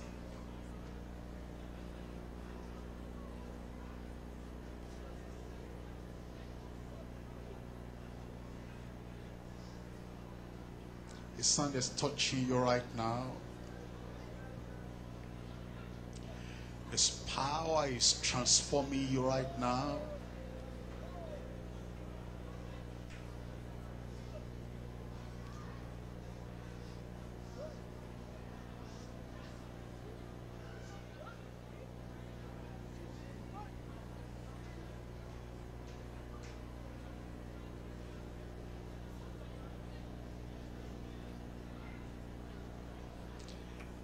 Was darkness, now there is light.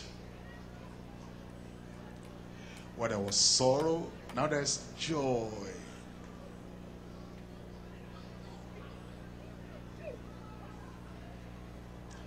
Where there was confusion, now there is peace.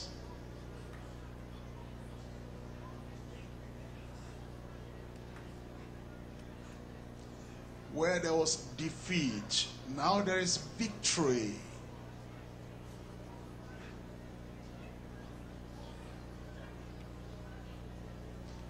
Where there was sickness, now there is health.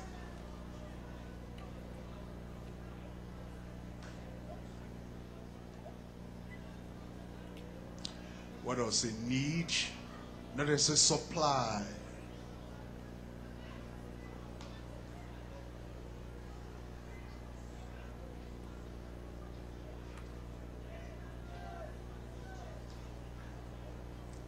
Where there was scarcity, now there's abundance.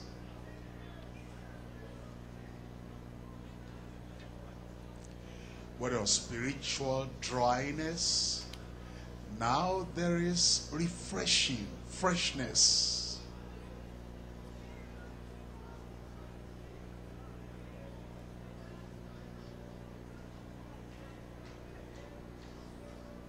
Now he is your father. Jesus, your Savior. The Holy Ghost, your comforter. The Word of God is the solid support.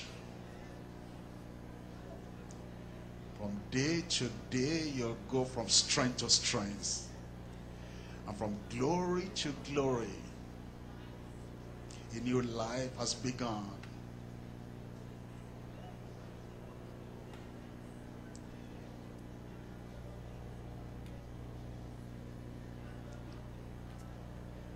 Believe the Lord.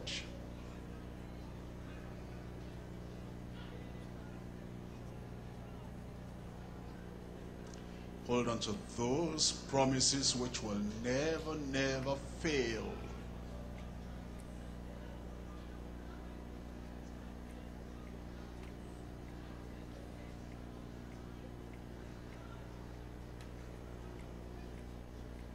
In Jesus' name we pray.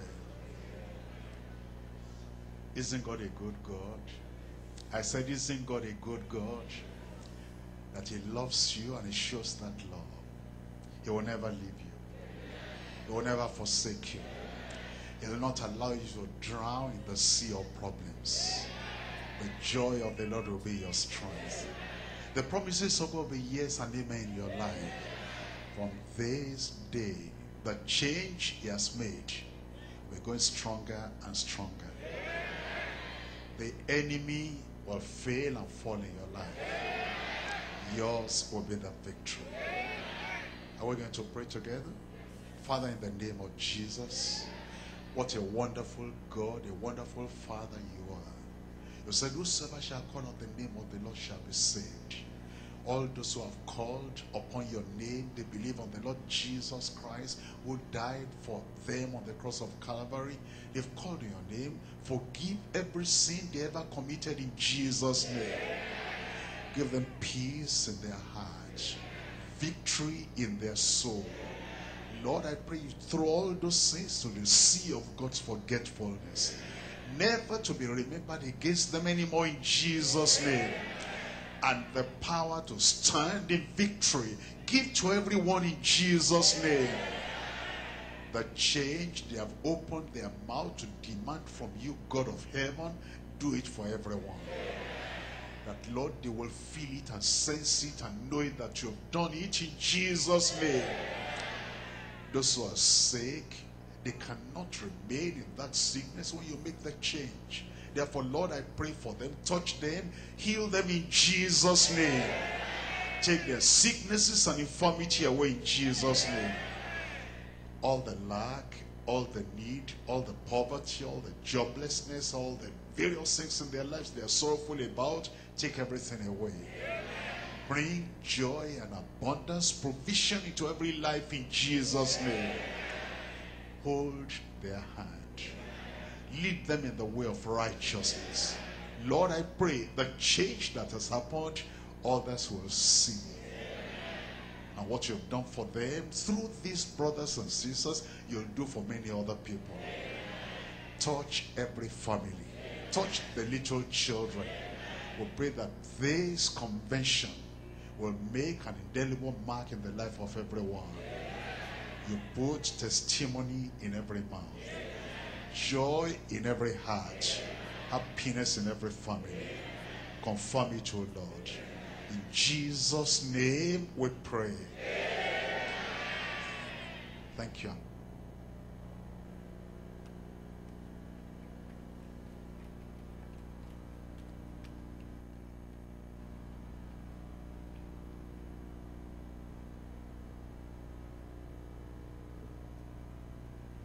Praise the Lord.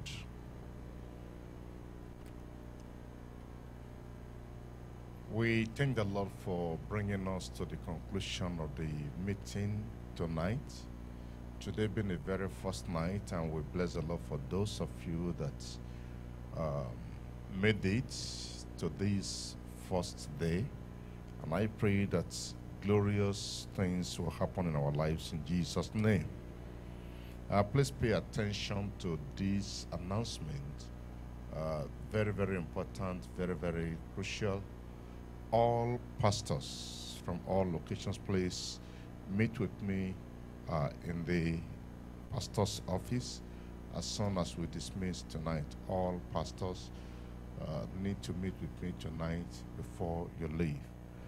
Uh, please, as soon as you dismiss, don't you come back to meet your people let's quickly do so that we can finish up on time and then come take care of your people and then you all can go. Now, tomorrow morning, everybody say tomorrow morning will be your morning of joy. Praise the Lord. Amen. Now, if you look at your program, open it to page 8.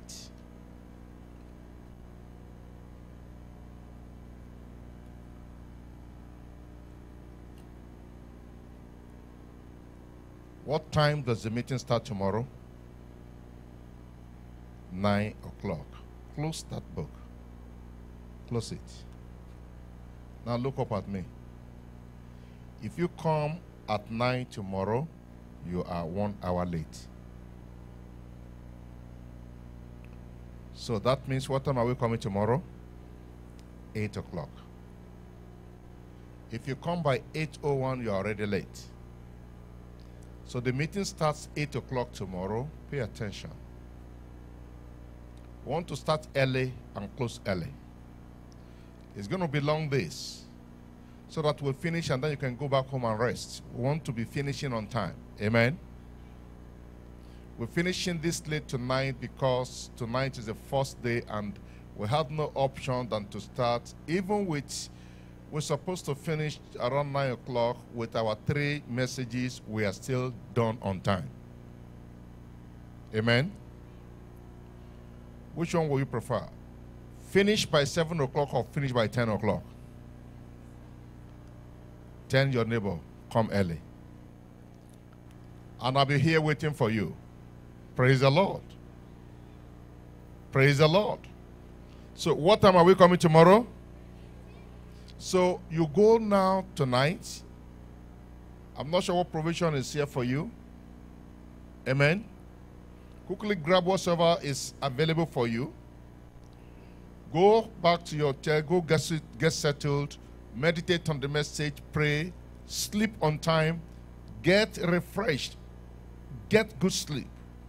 Wake up very early in the morning and then run down here so that tomorrow, by the grace of God, we finish on time. And then you can go home, spend time together, spend time with your family, look at the whole thing again, and then be able to be well rested. And then the following morning, we come 8 o'clock again. So that by the time we finally finish on Sunday, before anybody is thinking, Where are you? You're already back home. Praise the, Is that okay? God bless you in Jesus' name. Praise the Lord. All right, I hand over to Pastor Adu. Put your hands together for him. Thank you, sir. Appreciate. Praise the Lord. When I started praying uh, before we started, I did tell us that the word of God is going to come in power, and that word will come touching each and every one of our life. I have been touched terribly, and I know you also have been touched. Those changes will be permanent in Jesus' name. Please, we have very, very important announcement. Uh, so I don't want everybody to rush away immediately. Number one uh, concerns the sanitation. this is the order, please. At the end of each day's activities, county churches within Atlanta will be responsible for cleaning in, the, in this order.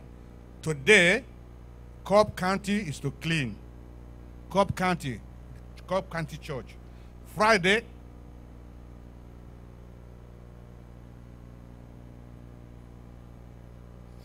Friday, Fulton. Fulton. Saturday, Gwinnett. Sunday, DeKalb and Cobb County.